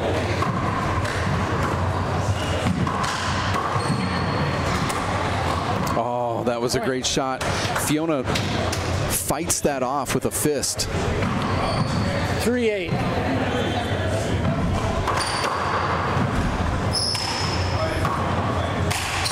You know, I saw in one of the earlier shots that Fiona had. The ball hit the front wall, and she Eight knew it was going to be deep into that left corner with the ball hitting the left side wall, kind of checking up, and she knew it was going to be a tough shot. And you should see her face before the ball got to her. She was she was like grimacing, like, "Oh no, this is going to be really bad." And I think all that kind been there. of that kind of sums up Nine how this court three. is. When you start like you start flinching before, you're like, "Oh no, I'm having." Uh, You're like, here we go. yeah, here it is. That's why this court's so hard. It's intimidating, even though the shot itself wasn't hard. Point. You almost have to just stay positive when you're in there, right? Just say, well, I'm hitting this ball. You can't make a face. Ten serves three. No. So, um, Wouldn't that be cool if those serves were allowed? yeah, I've heard you say this before. It's an interesting. Well, But only if only if you hit like three walls first, and then hit that back wall. Because three walls gives you time to kind of figure it out. if you go straight front wall, like 20 feet high off the back wall, you know that might be a little impossible to get that ball back. But as a returner, but if you hit like three walls first and then hit the back wall, that should be allowed. Add a new dimension. Point. Four ten. So, have you been training with Ashley a bit? In a little Tucson? bit, just Yeah. like once a week. Yeah, That's not really training, but it gives her a different look. definitely. I saw a little bit of her match yesterday with um, Jennifer Hinman. Point. That looked like a good battle, actually. Yep. Yeah, Yep. it's a bit of a marathon. Five ten.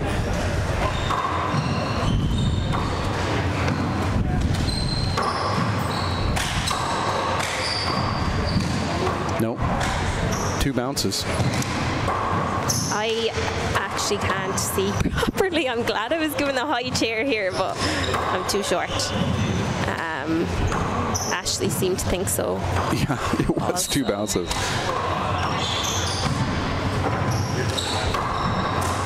This is a long rally.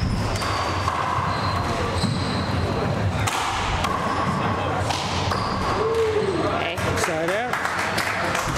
Moeller won that twice, and I, I like how she uh, rolled her eyes there. Here's 10 serves 5. that was a shot. That was a double bounce there. Sometimes it's so borderline, it's really hard to know. Just get a finger to it. Ooh, look at that overhand tomahawk over the top of Fiona.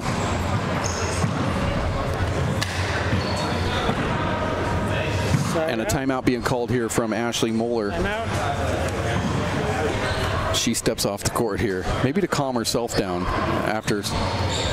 You know, you don't see them smiling with each other now. Ah, no, it's all amicable, I'm sure. And so you come here from Ireland and you travel, it takes 20 like 23 hours to get here.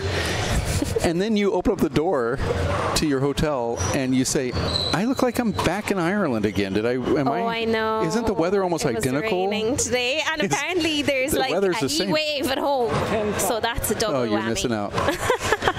How does that feel to like travel all this time and then just feel like you actually just drove to Dublin for the I day? feel like though this tournament I don't have much time to play with, so I'm kind of just in and out and here Yeah. to play. So I wouldn't have had much time to like go around sightseeing and experiencing the city much anyway. So I'll accept it this once, but please don't let it happen again. Okay, time is in. Fiona serving, 5 serving 10. Well, I love it because in Tucson it's been 110 degrees. Yeah, So- I wouldn't mind some sunshine now. Not gonna lie. Got a little bit last night, right when the sun was going down, it peeked through the clouds here. Yeah. And it was like, oh, there you are. it's 8:40 p.m. and it's going to go down in six minutes from now. It's definitely a similar climate to Ireland. That's why it's green, I guess. Right? That's the trade-off.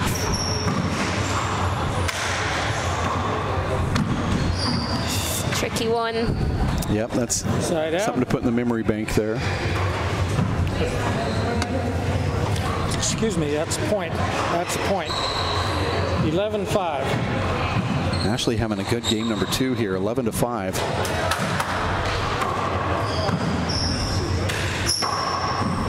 Nice pass. Every time Ashley has a good serve against Fiona, it seems like she's unable to replicate the exact serve again. There's been some great variety of serves actually in this game. A lot. Both, yeah. We've had some three-wall serves, some lobs, power serves. Got it all. Look how far that ball goes over to the right side of the wall from the left. Do you find that the courts are a little slower? Um, no, I didn't. Huh. Not today, anyway. I Suppose it depends what you're 13-5. comparing them with. That's true.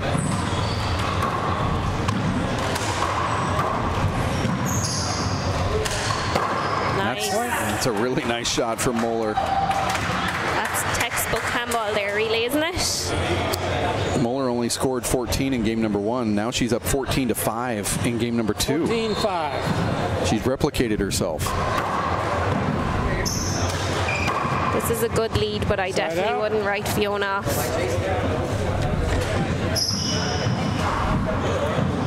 Five serves 14.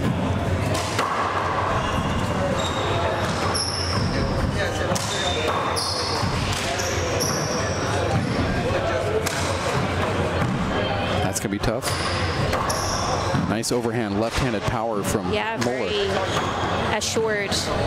You know, when you play outdoor in those three-wall courts, you kind of develop that shot. Yeah, very true. Side out. Fiona's having troubles with both sides, not just this left side wall. 14 serves five. There's a lot of writing and advertising on that right wall. That's so weird. There is, and somebody pointed that out to me yesterday, and I was like, I didn't even think about that, but thanks, now I'm aware of it. now it's going to bother me. It's like all of the writing is in blue, and it looks, you know, it's kind of confusing in the deep corner because there's a lot of There's a lot little of writing and advertising yeah, going on there. It's like the Nickel magazine up on the side wall here.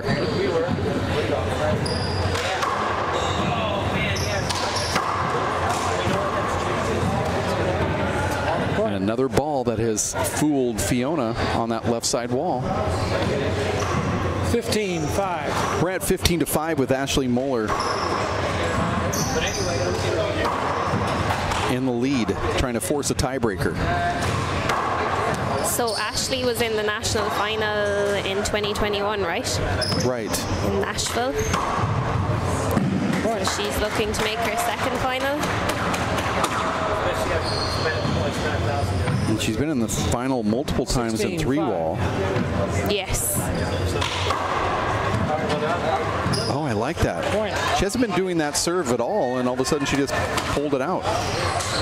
Sometimes when you get that lead, you just your confidence is so big you can just kind of do things. Things start going your way, yeah. I like this serve right there. That's a serve that if you can make it a little bit more sharp, maybe undercut the ball a little bit, you can slice that off that deep left wall down the back wall. I don't know what Ashley was doing. Yeah, trying to switch it up, I suppose. Down the middle, not necessarily the best place. What you don't want is for Fiona to find something like Ashley found in game number one. It'd be very interesting to hear what Ashley, after the game, if everything goes right for her, if she can pinpoint what it was that she changed, because it's it's clear to me that she's hitting the ball to the deep court more, but it takes it takes more than that. it takes more than that to uh, win a match. So see Fiona upset with herself, uh, upset with the call from the ref. Replay 518.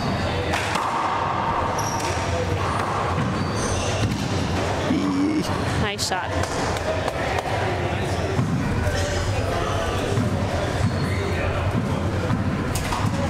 Six eighteen.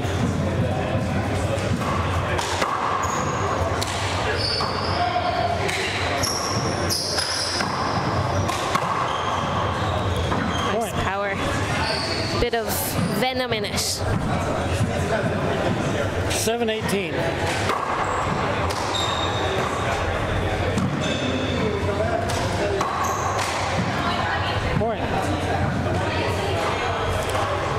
Two left. Okay, timeout. And timeout being called here. Did you say venom? What did you say? Venom. Venom. Yeah. Oh, venom. Okay.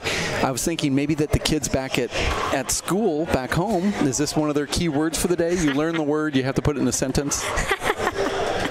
Something like that. Thought that was a Thought maybe word. that was a password or something, some hidden. I wasn't sure what you said, to be honest. But speaking of home, still doing, you're still a teacher. I am. And how are the kids? They're good. They're excited now for summer vacation. Are, are they on it officially? Uh, no, not till next Like a week, yeah, Yeah, okay. yeah, yeah, 24th. So I bet you they can't wait. just around the corner. We're little bit behind you guys, right? Yeah. I think you start a month earlier and then you go back a month earlier. Yeah, I heard that someone said that school was over like on the 16th or something of June. So I don't Oh, know. I don't know though. So that was just a sign I saw as I was driving up. So Fiona is a, like a high school teacher. We would say secondary school. Okay. So they finish earlier. So I got they're you. on their summer okay, break. Yeah. gotcha. Oh no, I've got another week. Complain really. It's kind of tough for the kids though when you have this heat wave going through Ireland and you have one week of school left. It's like, could this happen like next week, please? It's great. Everyone's mood improves though when they get a bit of sunshine.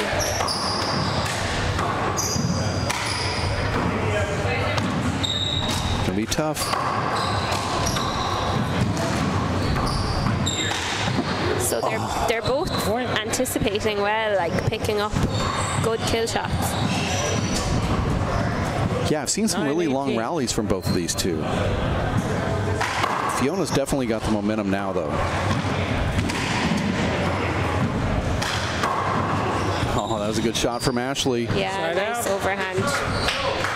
Kind of inside out. She saw that Fiona was pulling away from that right side wall. She goes 18 and pops it right back down that wall. Ashley and Mi- Michaela both kind of do that shot.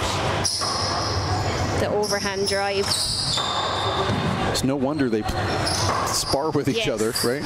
Yeah. And doubles partners. See, Ashley needs to pick that up the second it leaves Fiona's hand. Side out. As soon as Fiona hit that, serves 18. you knew it was going to check on the on the front wall.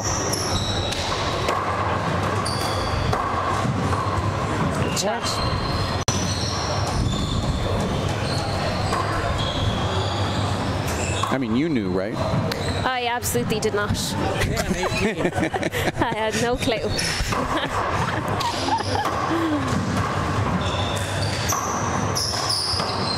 Screen.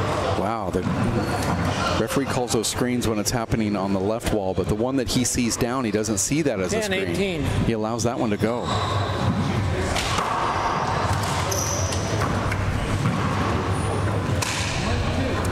Ashley he needs to put this away, and instead swings and misses. In a way, on that shot right there, you you almost have to let that ball come to you, right? Mm, it's a tricky one, isn't it? 11, 18. If you try to tack it right off that sidewall where you can't see the ball, maybe you let it go.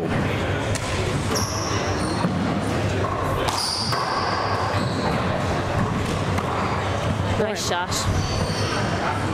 Fiona's starting to catch up here at 12 to 18. 12, 18. Remember, Ashley was up 18 to 5, Side out. Right? I believe it was 18 to 5. Yeah, Seven straight now for Fiona. 18 serves 12. Sometimes the last, well, usually the last one, but in this case, the last three could prove the toughest to get. Nice shot. Oh wow. You know, if there was a, a little meter that would show up on the monitor here, this shows us the percentage of what that your opponent has in order to get that ball back to the front wall. Ashley had about a 2% chance of hitting a kill shot there. and she was able to do it. I mean, it was Defied that was the a tough shot. Yeah. But she did it very like confidently. Yeah, that's the scary part. Side out. I mean, if they hit those shots and they're flubbing it, then you Twelve can't really be serves upset 19. with yourself. But when you snap your hair back and flip it as you walk into the server's box, show a little arrogance. yeah, I meant that. No. Side out. Ashley looking over 19 to serves 12. Shorty Ruiz, making eye contact as she walks back. Coaching is illegal during the match, but uh, they look at each other, make eye contact, and they can telepathic, telepathically yeah. coach. Yeah, there's always great support for the Tucson players. Nice shot. Point. Game. And there it is, Ashley Moeller forcing a tiebreaker. You didn't know that when you sat into this booth here for game number two that you're going to actually sit in for two games Because I'm forcing actually you. sign up for that. Yeah, I'm, I'm forcing you for the. Did I you realize? don't think I agreed to that. Did, we're, you're going to get paid the same no matter what happens, yeah, I bet. and that payment is a compliment. Zero.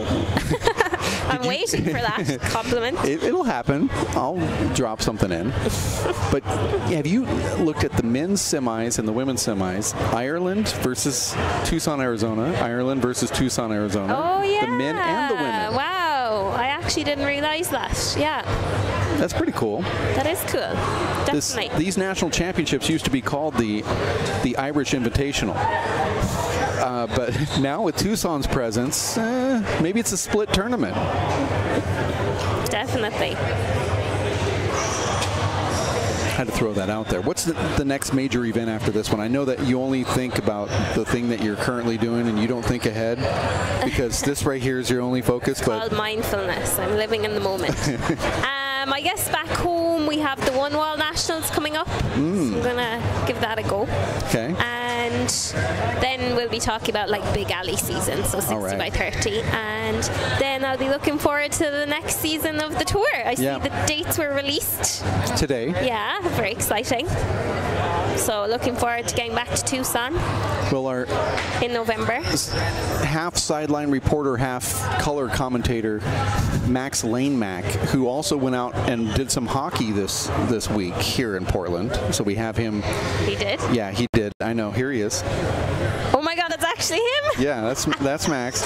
He said that he was in Ireland in 2017-18, and you gave a tour of Oh yeah. Croke Park and played 60 by 30. Yeah, and that was fun. He said that the lights came down and you guys are tied at like 16. But what was the real story? I don't remember. He said that it was a draw. he said it was a draw, but deep down, I have a feeling you were winning. well, we were playing doubles, Oh, okay. but okay. he was definitely. He knows what he's doing out here. Yeah. Does he have a background in ice hockey? Uh, yeah. Pretty yeah. cool. He used to play as a junior player. I would be useless at that. I have a fear of ice skating. I don't think these people at the rink has ever seen a seven-footer playing hockey before. yeah, he looks very smooth out there. Yeah, this is the town for stuff like that, hockey and American soccer. I know that you're a multi-sport athlete yourself. Here we go. yep. Here's a view of Yeah, very cool. Oh, I didn't know there were tennis courts up there. I know, now you want to go outside. Yes, I do. Wait, that's one tennis court, and what's the other one? It could, well, it could be pickleball, but Okay. isn't it interesting that uh, in order to get all that green, it has to rain a lot. Yeah, So, you know, you take the good with the bad. You look at that and you say, well, look how beautiful Portland is. It's all nice and green. That is a nice view. We flew the drone and are currently flying the drone only in the times when it's not raining. That's why you've seen it only twice during this live broadcast. but you know, I've been here for a few days. I it never rained. I never. I mean, just little drops. Yeah, just today. It's not been bad, really. No. And we're ready for the tiebreaker here. Yeah, we're going to go to 11 points. Ashley gets that serve to start it off because she had the most Ashley points. serves. Yeah, just Zero serve, zero. right? Maybe 14, No, like 12. six. I think she was up by six. Yeah, because she got 14 the first 14 time, and 12. Fiona had. Oh, okay, so it was 12. Okay. Yeah. Zero zero.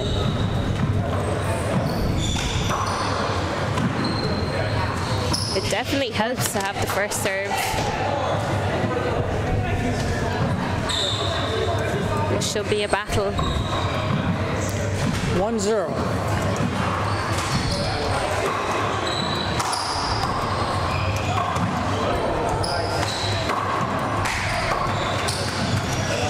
Side out.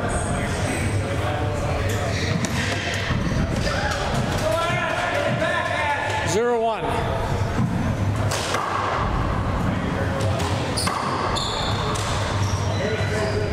Well dug out.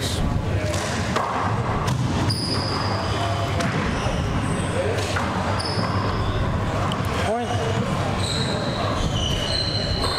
We're all together at one. One serves one.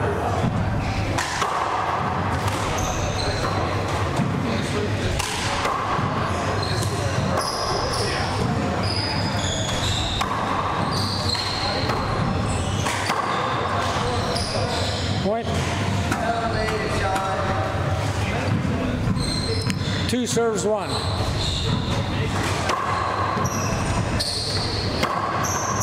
Nice shot. Side out. Tiebreakers are nerve wracking, aren't they? They are. To watch and to play in. Yeah. Sometimes watching is like the Worse. most tense Yeah. thing that you could ever see. You know, nothing worse than when you're playing is when you jump out in a tiebreaker to a nice lead, you know, 6-0, something like that. and you say, well, I'm just five away. and then your opponent starts scoring points, and then it becomes very, very intense. Yeah. And everything tightens up, and it's like Two serves, two.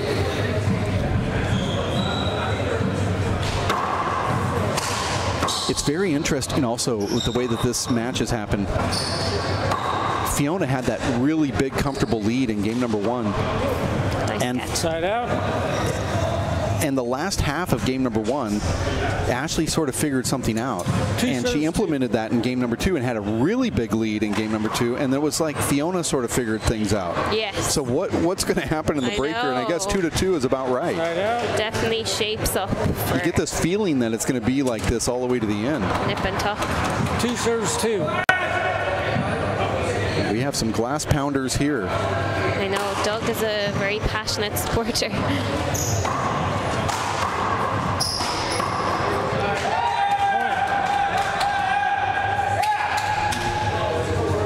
I'm not so certain. Three, I think this flies in Tucson, but doesn't fly here. But Yeah, he might get kicked out. he might be escorted from the building. Nice get. that's a nice Rolls shot. down. See, in Tucson, there'd be glass pounding after that shot. I and it would be they- equal. See, here it's not. It's only, here it's 100% one way. That's where I'm saying it doesn't fly here. And I feel like Fiona's uh, supporters are very chilled. Not too vocal. We're all together at three. Three, three. Oof. Don't see too many aces on a lob serve. Yeah. But this is the time to pull one out. Short. Second.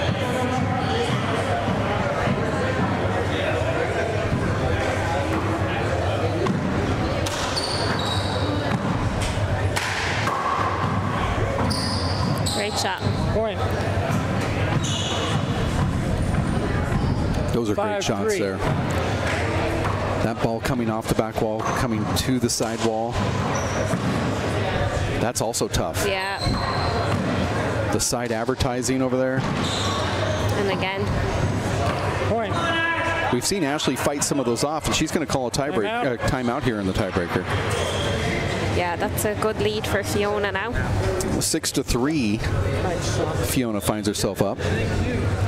Watching the USHA Four Wall National Handball Championships number 71. Of those 71, you've won five. so, That's not really that good, is it? well, you were only alive for, let's say, I don't know, 25. 26 Probably 26, yeah. of those. I always say that up until about three, you didn't know anything either, either way, you know, so you just don't count those three years. I'm not talking for you specifically, I'm just meaning me. Just the general you. Okay, time is in. Six serves three.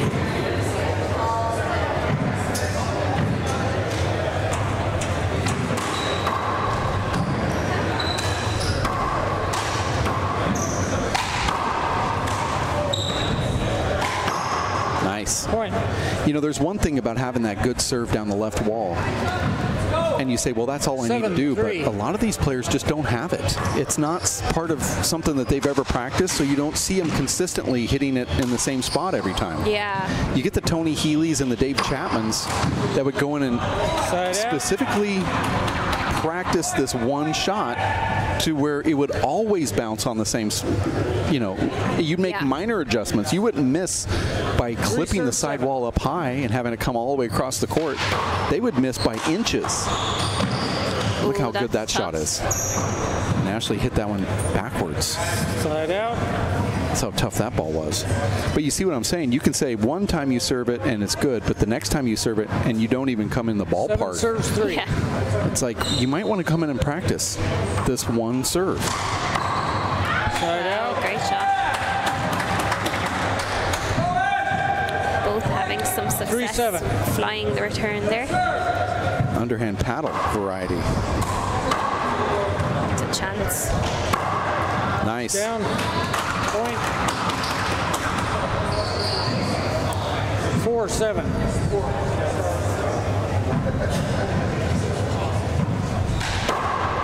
Oh, she had Fiona going the wrong way. Yeah, great serve. Fiona did well to get it back. Side out. Ashley took the wrong angle there. She would have kind of clipped Fiona, got a little closer to her, she would have been able to get to that. Her first step was back, seven to four. Kinder ball.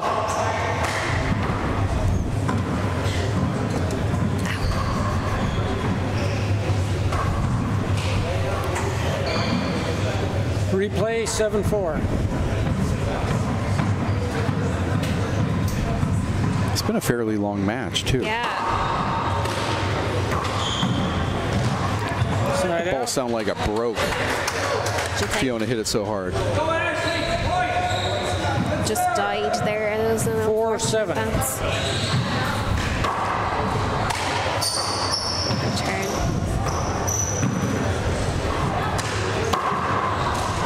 Oh, look at that. A diving fist shot. Moeller goes down on one knee and smacks that with her fist, one inch Five, high off the front wall. It's a little highlight laser. reel shot. It's a chance. No. Side out. That was a, a loud service for Ashley. 7 5. The, the scoreboard didn't change. Oh, oh, it is five.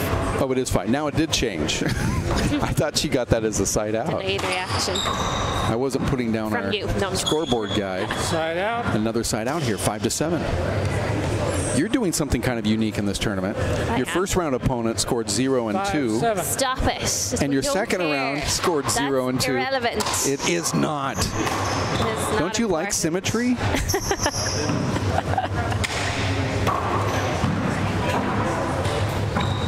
Oh, Side out. that is It's just a side out. tough to take. Though. 7 5. Fiona had to fight that off, and she does so right in the left corner. Good serve. Point. That is a great serve. Yeah, came off at the right angle. 8 5.